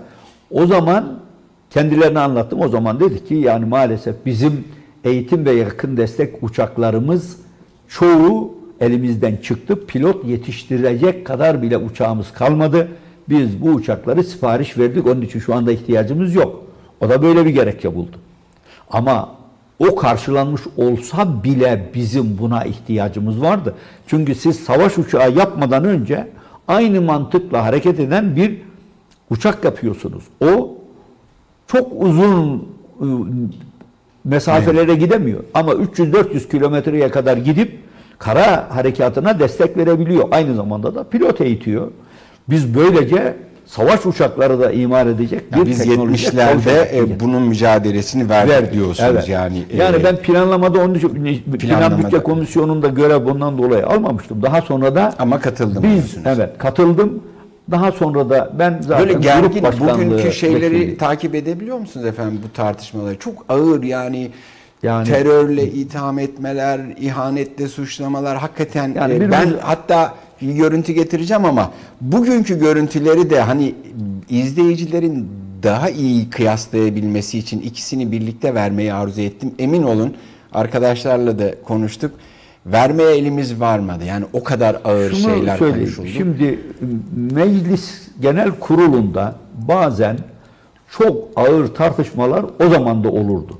Bugünkü seviyeye ben çıktığını düşünmüyorum. Yani bazen gruplar arasında adeta kavga çıkardı. Ama komisyonlar fikirlerin daha rahat ifade ifade edildiği mekanlardır. Orada farklı fikirler de olur. Bazen gülüp geçersiniz. Ama bugünkü gibi yani ben mesela bir Milli Eğitim Komisyonu'nda bir konuşma yapmıştım. Hiç kimse benim fikirlerimi benimsemedikleri halde karşı bir tavır sergileyemediler. Oturdukları koltuklara bağlı kaldılar. Sadece Milli Güvenlik Kurulu'ndan orada bir üye vardı. O kalktı geldi beni tebrik etti. MGK üyesi. Milli Gü- evet. O zaman Şey, mecliste şeyde e, senatör olarak bulunuyordu. Ama yani çok aykırı fikirleri bile gündeme getirdiğiniz zaman insanlar tamam sizin o fikrinizi benimsemiyor, tepki gösteriyor ama böyle birbirlerine karşı küfür, hakaret, kavga ben onlara rastlamadım, Rastlamadım. o dönemde. E, O zaman tam yeri geldi efendim. O şeyi kıyaslamak için bugünküyle o geçmişteki ben de hatırlıyorum. Geçmişte özellikle Erbakan Hoca'nın grafikler üzerinden, rakamlar, tablolar üzerinden konuşulurken bugün maalesef bütçe konuşmaları e, bağırış çağırış biraz da küfürler üzerinden ilerliyor.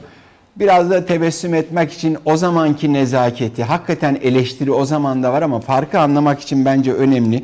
Birçoğunuz da biliyordur ama hatırlatmakta fayda var. Arkadaşlar getirebilirse e, o bütçe görüşmelerinden derlenmiş birkaç dakikalık görüntü. Arkadaşlar verebilir miyiz? Ecevit'in konuşmasında son olarak işaret ettikleri noktaya hayalciliğimizden bahsettiler. Teşekkür ederim çünkü hayal çok kıymetli bir şey. Bir şeyi hayal etmeden hiçbir şey yapılamaz. Ben çok kıymetli bir meziyet olarak biliyorum. Esasen kendileri de şair oldukları için zaten hayalle iç içedirler. Şimdi çok önemli bir konu şudur.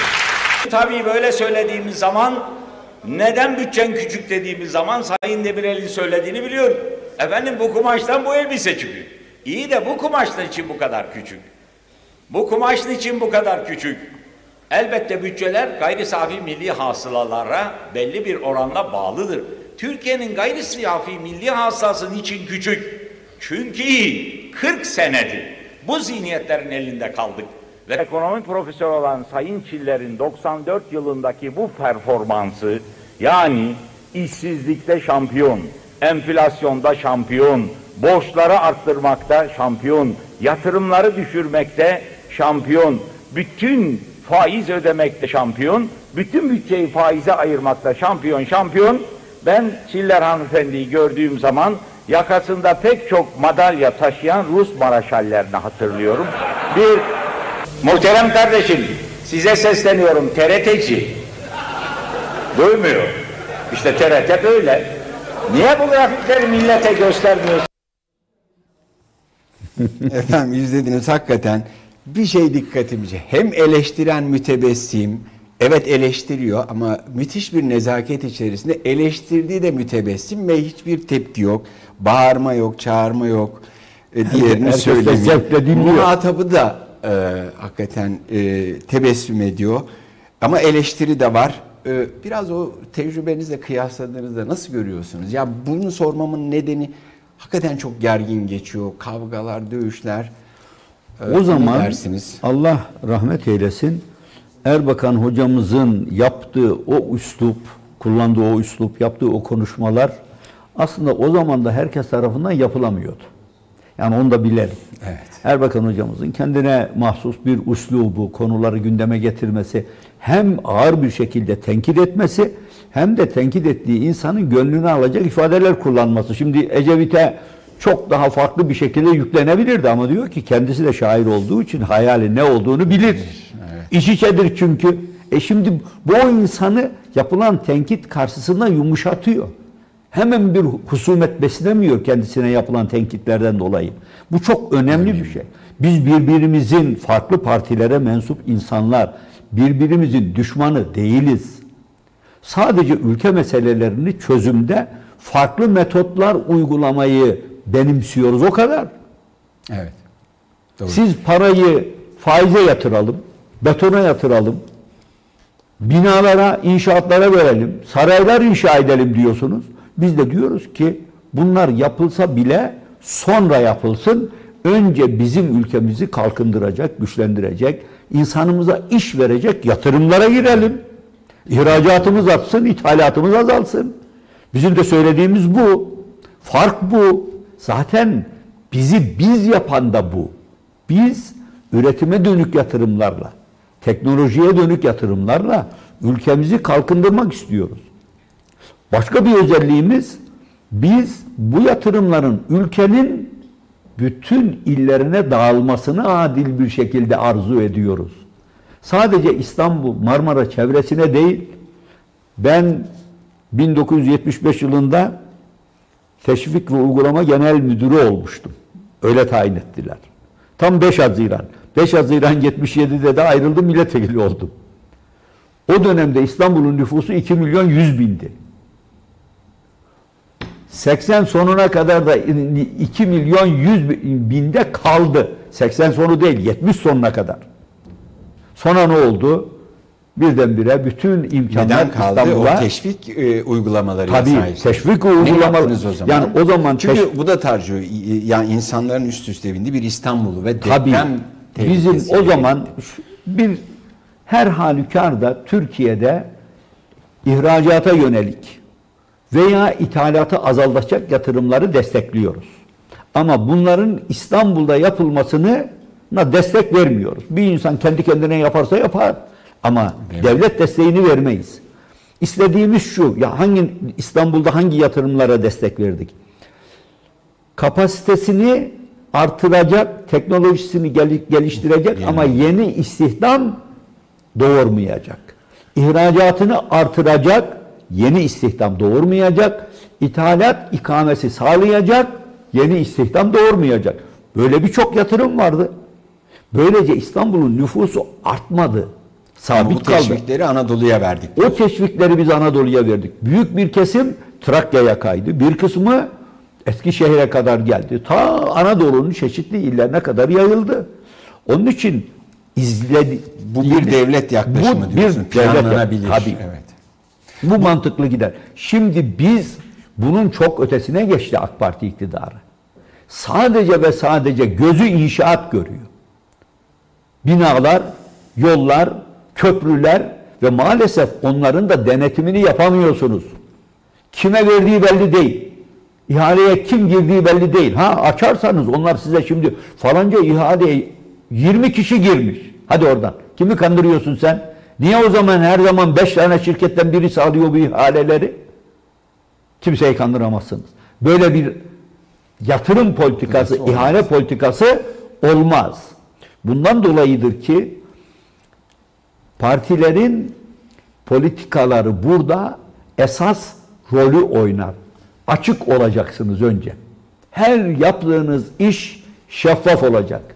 Muhalefet partileri gelip mecliste de dışarıda da sizi denetleyebilecekler. Hesap vermeye hazır olacaksınız. Bugün AK Parti hesap vermeye hazır değil. Kimse sorgulayamıyor. Böyle mantık olmaz. Ve yapılan ihaleler genelde ona yapılacağı 50'ye ihale ediyorlar. Böyle mantık olmaz. Köprülere bakın.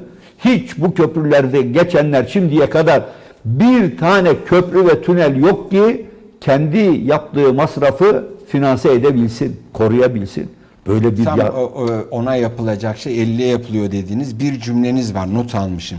Türkiye çok iddialı bir cümle. Türkiye'de yoksulluğun nedeni yokluk değil yolsuzluktur diye bir cümleniz Çok var. Biraz doğru. buna mı vurgu yapıyorsunuz? Tabii. Yani Yani, siz vatandaşa vermeniz icap eden parayı yolsuzlukla başka yerlere kanalize ediyorsunuz. Servet. Onu siz alıp vatandaş sadece onu bile vatandaşa dağıtsanız gelir seviyesinde bir artış olarak siz olacak. Onu eğer alır da yatırıma tahsis ederseniz üretim yatırımına o zaman işsizlikte ciddi bir düşme meydana gelecek. Şimdi işsizlik yok gidiyorlar. Elbette olmaz. İşsizliği nasıl ölçüyorlar? İş ve işçi bulma kurumuna müracaat edenlere bakarak. Kendileri sosyal yardım verdikleri hiçbir kimsenin iş ve işçi bulma kurumuna müracaatına izin vermiyorlar. Ben sana 500 lira veriyorum. Yok ya 1500 lira veriyorum. 2000 lira veriyorum. E ama sen hiç talep etmeyeceksin. Bu rakam geçmişte 3-4 milyon civarındaydı. Şimdi 10, 11, 12 milyona çıktı. Bunların hepsi işsiz. Bunların hepsi yardıma muhtaç. Siz bunu işsizlik olarak görmüyorsunuz. Böyle bir mantık elbette Olmaz. kabul edilemez. Bu bütçeyle ilgili şeyi bitirmek için Tamam. iktidarın bu gerilimi plan bütçedeki görüşmelerinde gerilimi bilerek yükselttiği çünkü tam da sizin bu dediğiniz rakamların bu yolsuzluk iddialarının ekonomik verilerin konuşulması yerine bu gerilimi yükselterek e, bunların konuşulmasını Evet. sağlıyor. Biz de gazeteciler olarak bir öz eleştiride bulunayım. Hakikaten kavgayı biraz seviyoruz Fazla sanki. E, buna geliyoruz e, biraz. Yani e, kavgaları konuşuyoruz. Bunu da bilerek yaptığı söyleniyor. Siz de böyle Aynı düşünüyor musunuz? Kesinlikle. Yani bunlar yalnız ben şunu bir türlü anlamıyorum. Yani mutlaka e, yarın nasip olur da iktidarda bir etkimiz olursa bir e, siyasi ahlak yasasının çıkarılmasına ihtiyaç var. Ben şunu söylüyorum. Birisi bana affedersiniz küfrederse benim cevabım şu. Bu söz sana ait. Bir insanın ağzından bir laf çıkıyorsa ve bu çok ağırsa bu ancak kendisini tarif eder. Karşısındaki insanı değil. Bunu bana küfreden bir adam kendi nefsine küfrediyor demektir. En ağır ifadeleri kullanıyorlar. Ama bu idrakten yoksunsa adam ne yapacaksınız? Adam bu idrakten yoksun. Bir partinin başına geçmiş, belli bir makama gelmiş ama kullandığı kötü kelimenin kendisini tarif ettiğinin farkında bile değil. Ne diyeceğim ben o adama?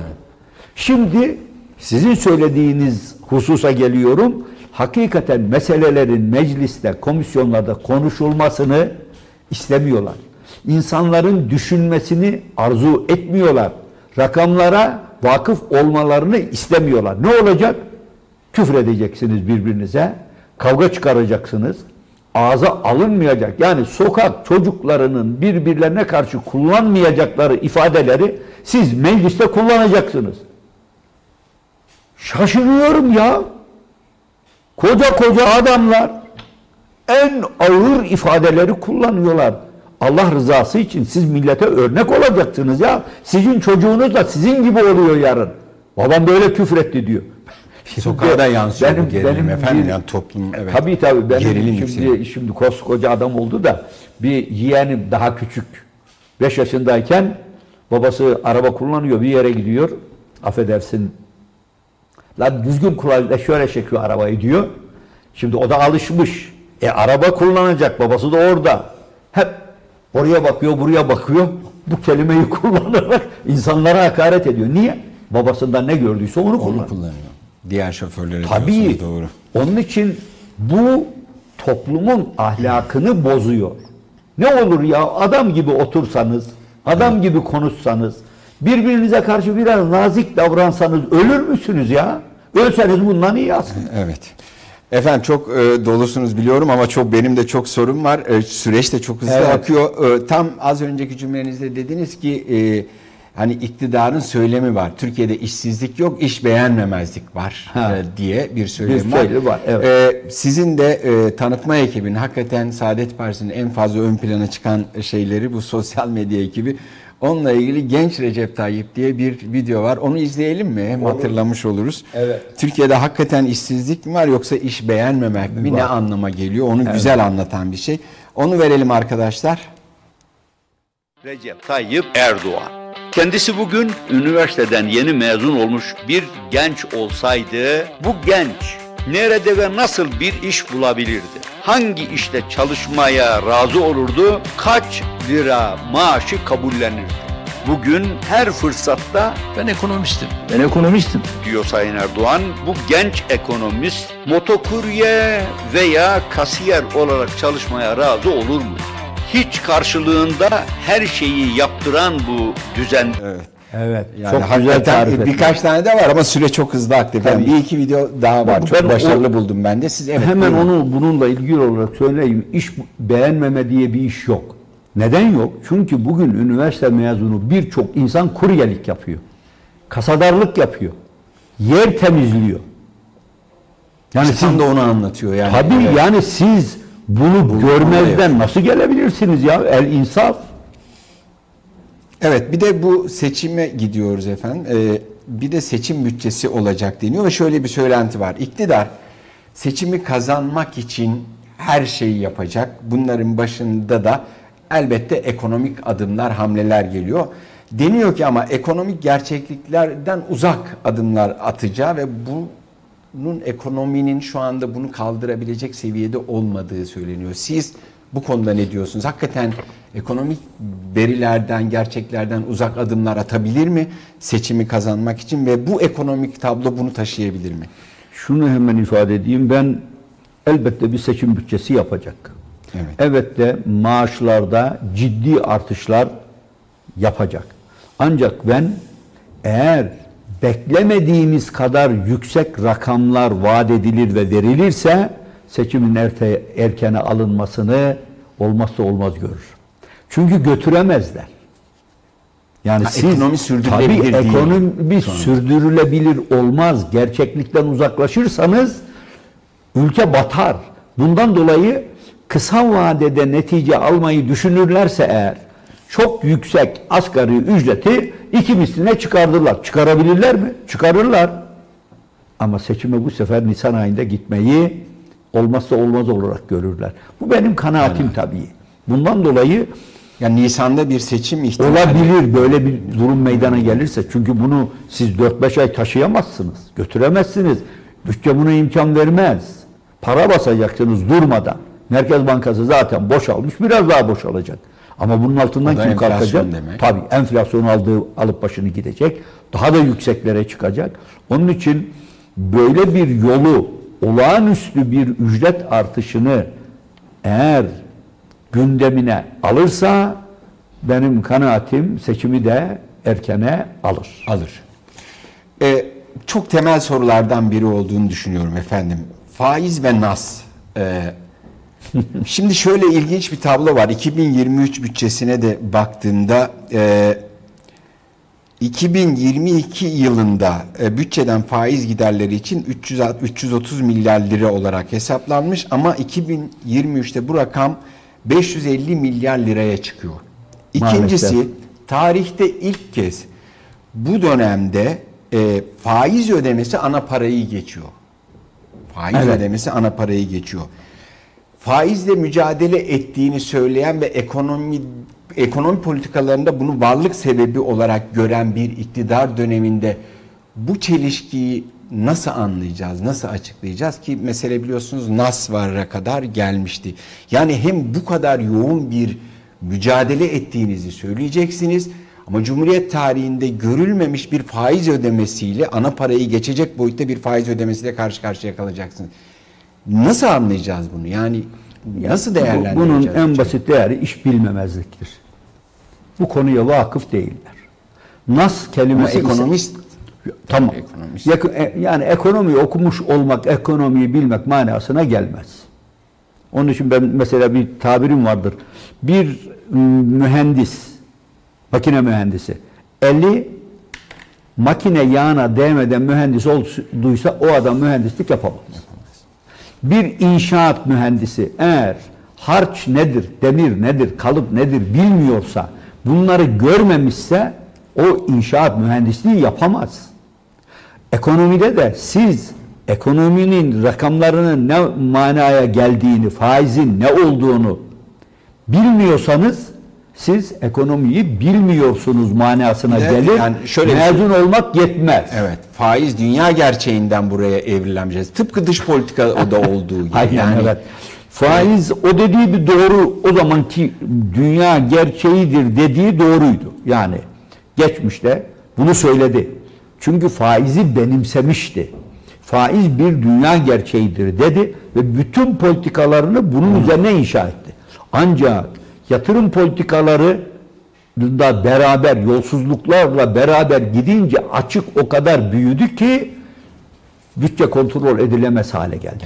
Kontrol edilemeyince bir şeye sarılacak. Neye sarılacak? Dışarıdan para alacaksınız. Adamlar Merkez Bankası faizlerine bakıyorlar.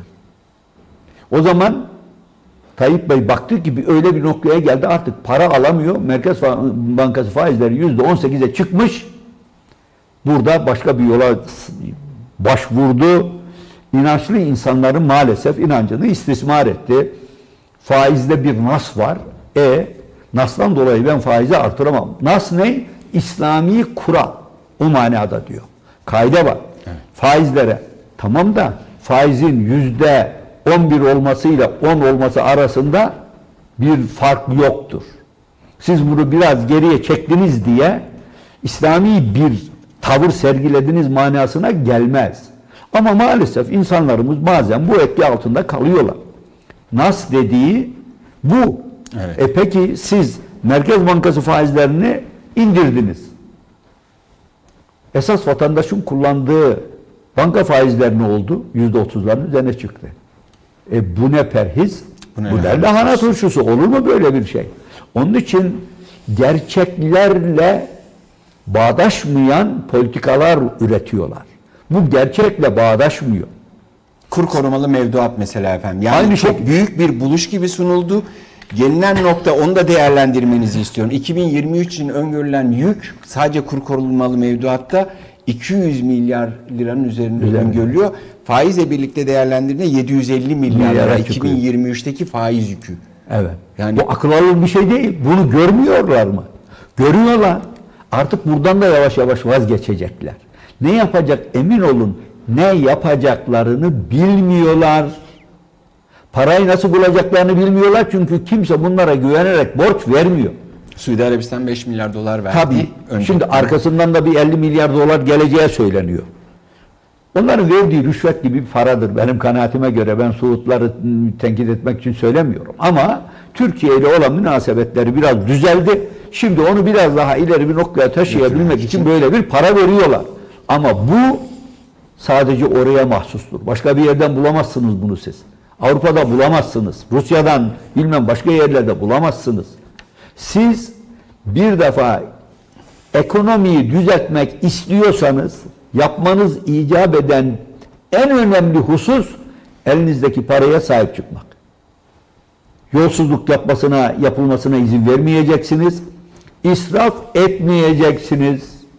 İsraf dediğim zaman ekonomiye katkı sağlamayacak yatırımlara da kastederek söylüyorum. Yani düpedüz Beklesinler. Evet. Buyurun. Sadece tabii sadece ben sarayda yapılan harcamaları bilmem Sayın Cumhurbaşkanı'nın başka bir ülkeye giderken 6 7 8 uçakla beraber tankını, topunu, tüfeğini götürmesini, koruma ekiplerini götürmesini onları da söylemiyor. Doğrudan doğruya israf var. Ya onlar devede kulak kalır diyorsunuz. Aslında Evet. yatırım Tabii onun için politikalarında bir israf. bütün bütün kaynaklarımızı biz üretken yatırımlara tahsis edeceğiz.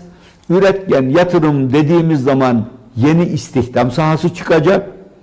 Üretilen mal eğer yoksa bizde ithal ikamesi sağlayacak. Üretilen mal kaliteliyse ve bizde varsa dışarıya ihraç edilecek, döviz getirecek. Bu kadar basit. Yani ben öyle ekonomistler, allame cihan insanları düşünerek söylemiyorum bunu ya. Sokaktaki adama söylesek bunu anlar ya. Parayı israf etme. Senin ayağında bir ayakkabı varken gidip lüks bir mağazadan ikinci bir ayakkabı alma ya. Bu kadar basit. Sen kendi özel karşılama mecburiyetinde olduğun ihtiyaçlarını gider. Devletlerde böyle diyorsunuz Tabii. yani şey. Hiç. Bunun başka bir yolu yok ve bu çok basit bir iş. Bak ben acaba bunu biz nasıl kavrarız diye düşünmüyorum. Bu kadar basit söylüyorum Sayın Erdoğan. Devletin elinde bulunan, kasasında bulunan bütün paraları üretime dönük yatırımlara tahsis et. Millet bunu birileri iş adamı çıkıp kullanmıyorsa sen kullan. Çok açık net söyle. Bunu yaparsan işsizlik azalır. Öyle uydurma bir şekilde işsizliğe ben önledim diyemezsin. Demene Evet. ihtiyaç kalmaz. Böyle kur korumalı mevduat falan da bunlar falan, uğraşma. e, böyle büyük buluşlar falan değil diyorsunuz. Maliyetleriyle birlikte Evet, değerlendirildi. Efendim adalete güven, dış politikaya güven falan ama e, hakikaten Türkiye'de ilk kez TÜİK'e enflasyon rakamlarına da güven problemi var. Ben de geçmeye enflasyon Ma- enflasyondu. Neyse Tabii, neydi yani. maalesef. E, İşte. işte TÜİK rakamları hakikaten tartışılmazdı. Yani bir güven sorunu olmazdı. Onlara itibar edilirdi. Yine bununla ilgili hem biraz size nefes alma imkanı olsun hem de ben çok hakikaten önemli bulduğum için arkadaşlar onu verebilirse yani iki tane ama süremiz belki arka arkaya da verebiliriz arkadaşlar. E, Tamam tek tek verelim. Önce bir magazin videosu hakikaten başarılı. TÜİK videosu verelim onu. Yıl boyunca tahriş olan ekonomi için TÜİK Bakım serisi. Gerçekleri kapatmada %48'e kadar etkili. Düşük enflasyonun sırrı TÜİK'in yeni formülünde saklı. Böyle daha ışıltılı.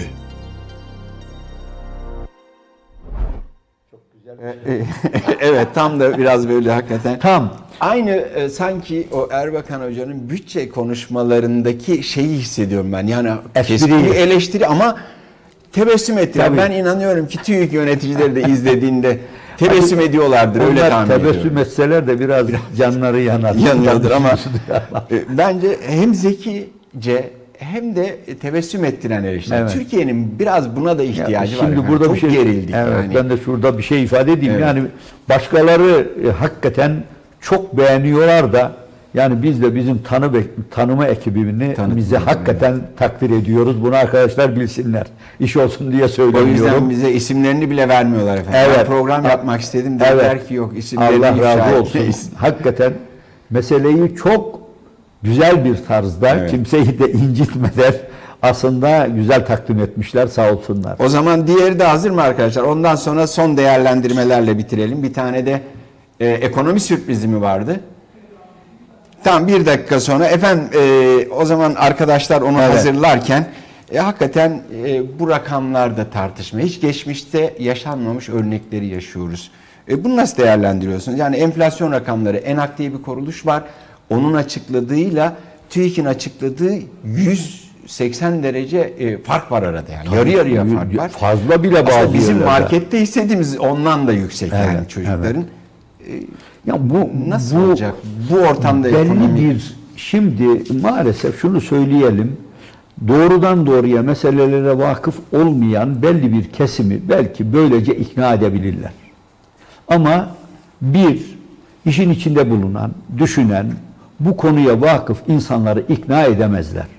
İki, kendilerinin yurt dışına gittiği zaman muhatap oldukları finans kurumlarını kesinlikle ikna edemezler. Adam der ki ya siz üçkağıtçısınız. Ben Türkiye'nin nerede olduğunu biliyorum. Ben size güvenmediğim için bu rakamları ben de ayrıca tespit ettiriyorum. Siz diyorsunuz ki enflasyon yüzde yetmiş, ben bakıyorum yüzde yüz yetmiş. ben sizin diğer taahhütlerine nasıl Elbette. Onun için bu Türkiye'nin itibarını zedeliyor. Bu iktidarın değil sadece. Elbette iktidarın itiba- itibarını zedeliyor. Ama ülkemizin de itibarını zedeliyor. Nasıl bir hükümetiniz var ya? Kendi insanını yanıltmaya çalışan, yanlışlarını örtmeye gayret eden, gerçekleri gizleyen böyle bir iktidar mantığı olmaz. Onun için Tayyip Bey'in bu şeyinin yönetiminin uzun vadeli devam etme imkanı yok. Düzelmesi de mümkün değil. Mantık değişecek ki düzelsin. Mantık kökten değişmesin. Sadece e, sadece rakamlar değil söylemler de ilginç efendim. İktidarın bir diğer ortağı Sayın Bahçeli bu haftaki grup konuşmasında zincir marketler de Türkiye'nin gündemi ve zamlar doğal olarak enflasyondan kaynaklı zamlar da Evet. gündemde. Zincir marketlerin FETÖ ile bağlantısı araştırılmalı diye ilginç bir çıkış yaptı. Ee, Yani şöyle bir tablo ortaya çıkıyor. Daha önceki uygulamalara da baktığımızda işte soğan depoları basıldı, soğan işte depocuları, sto- stokçularından bahsedildi. Şöyle bir yani her şeyde bir suçlu var ama tek şey suç olmayan iktidar. Yani soğancılar suçlu, marketçiler suçlu. Bunlara ceza da kesildi. Ama akıllanmamışlar Sayın Erdoğan'ın ifadesiyle söylüyorum. Ee, ne diyorsunuz? Yani böyle mi Yani- mücadele edilebilir market ben şöyle diyeyim.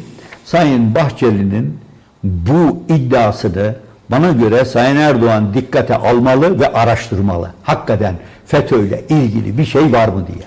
Ama ben şunu biliyorum. Sayın Cumhurbaşkanı zincir market sahiplerinin hepsini iyi tanıyor. Kesinlikle böyle bir şey olmadığını o da biliyor. Ama en azından araştırdım desin. En azından araştırsın. Bir de Bahçeli'yi ikna etsin. Yani acaba benim aklıma şu geliyor. Bahçeli buradan bir yolunu bulup ayrılmayı mı düşünüyor da bulunuyor. HDP masasında öyle bir şey oluştu. AK Parti'nin HDP ile görüşmesinde ama efendim hakikaten çok önemli bir başlık olduğu için e, çok süremiz de daraldı Evet. ama tarım. Siz de ısrarla tarımın üzerinde duruyorsunuz. Çünkü gıda üretiminin, gıdanın ne kadar önemli olduğu bu korona sürecinde ve son Ukrayna krizinde çok net anlaşıldı. Bu tarım politikalarını nasıl değerlendiriyorsun? Çünkü bir rakam vereyim efendim. Tarım destekleri e, 46.4 milyar liradan 54 milyar liraya çıkarılıyor. Yani artış yüzde 16. Bu gıdanın önemi anlaşılmasına rağmen. Ama faize geldiğinde faiz ödemelerine artış inanılmaz. Yani e, Bakın bir, bu bir yani- tercih mi oluyor o zaman? Yani, Yani, bu aslında şimdi bazen insanları hakikaten anlamakta zorlanıyorum. Çünkü bu hükümet yani Sayın Erdoğan'ın başında olduğu hükümet bir kanun çıkardı. 1900, 1900 diyorum 2004'te falan bir kanun çıkardı. Tarıma verilecek destek milli gelirin yüzde birinden az olamaz diye. Şimdi milli gelir ne? 400 bilmem ne, ne kadar dedik? En son 807 milyar dolar.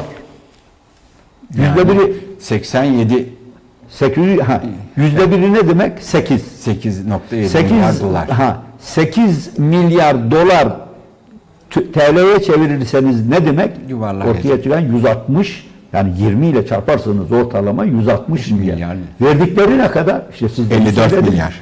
Şimdi bu 160 milyar. Anayasal bir şey bu. bu yasal. Yasal, Anayasal. pardon, Bu konuyu ben bir türlü anlayamadım. Ya bir hükümet böyle bir kanunu çıkarıp arkasından da bir kere bile son geçen 18 sene zarfında bunu yerine getirmez. Bu nasıl bir mantık ya? Onun için ben bunların yaptığı hiçbir şeyin hesaba kitaba gelir olmadığını düşünüyorum. Çiftçiye bir mesaj verdiler o kanunu çıkararak ama hiçbir zaman yerine, Yerine getirmediler. getirmediler. Arada Şimdi- da uçurum var. Tabii. 160 Şimdi bakın, milyar şeyden bile yani küsuratından bile bu az. Ekonomide bizim benim ısrarla söylediğim bir şey var. Tarım bir numaralı sektördür. Çünkü biz tarım ürünleriyle karnımızı doyururuz. Bu bizim için olmazsa olmaz. Eğer biz şu anda Türkiye'de tarım arazisinin yüzde onu kullanılmıyor. Yüzde on çok büyük bir rakam. İki, tarıma bu destekler verilmiyor. Onun için tarımla ilgilenenler ne yapacağını bilmiyor. Mesela pancar hem hayvancılığı hem e,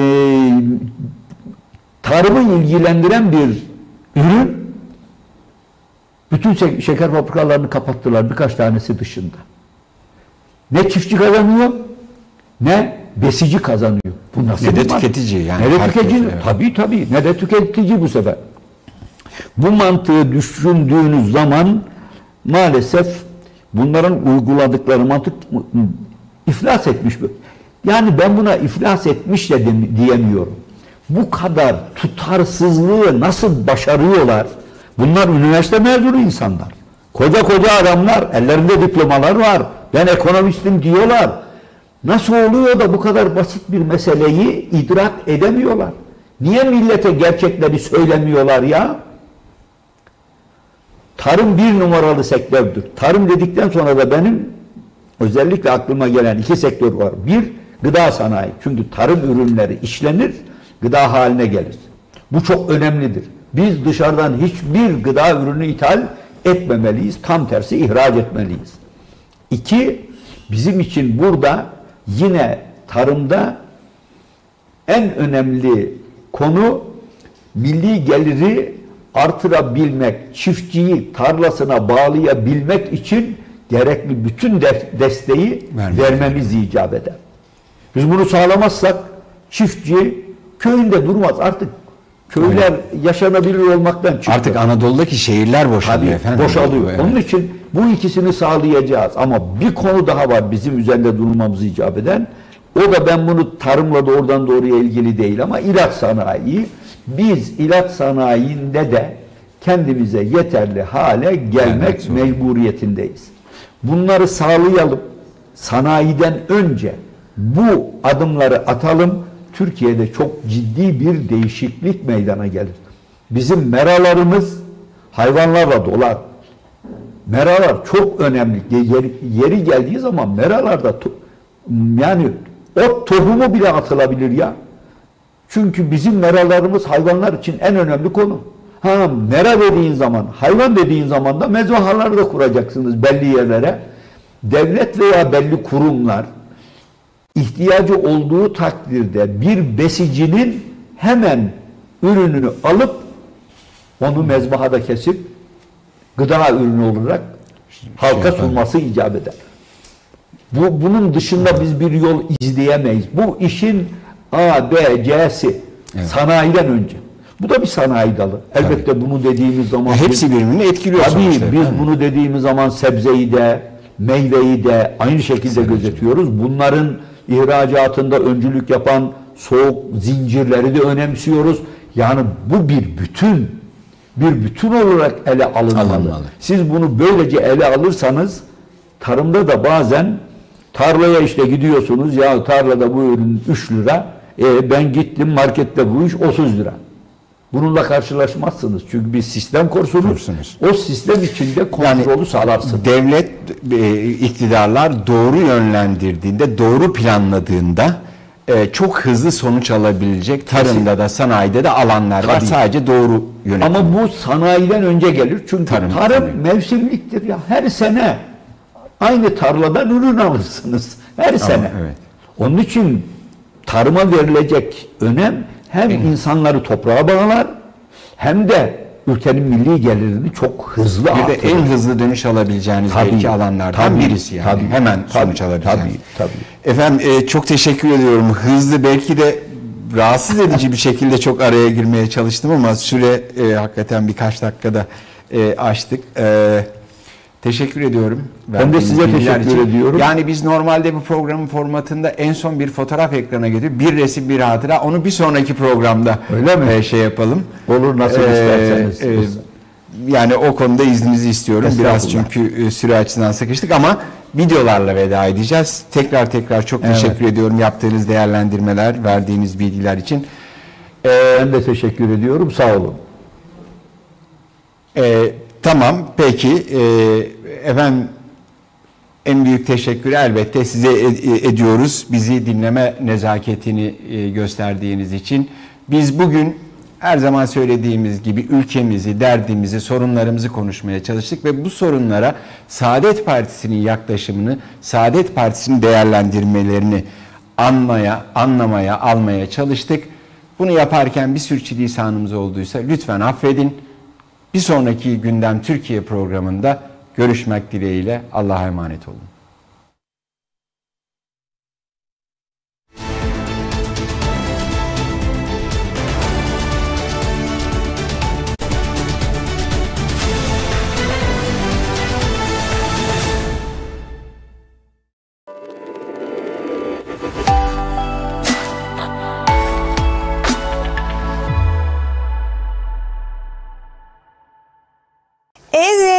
Evet, kahveler de geldi. Aa aşkım ayran bu. Ne yapayım? Türk kahvesinde indirim yoktu. Ayran da vardı. Hem bu da gıdıklı, değil mi? Yo yo Böyle şeylere hiç gerek yok İste gelsinden her ürüne indirim geliyor İste gelsinden büyük yenilik. Tüm ürünlerin indirimli olduğu süpermarket iste gelsin. Turuncu sepette büyük indirim. Yeşil sepette daha da büyük indirim. İndir, iste gelsin, için rahat etsin. İndirim geliyor İste gelsin Türkiye'nin kurban platformu kurbanpazar.com.tr adına almış olduğumuz vekalet doğrultusunda Orta Afrika ülkesi e, Çad'ın başkenti Encemine'ye bağlı e, Appena köyündeyiz.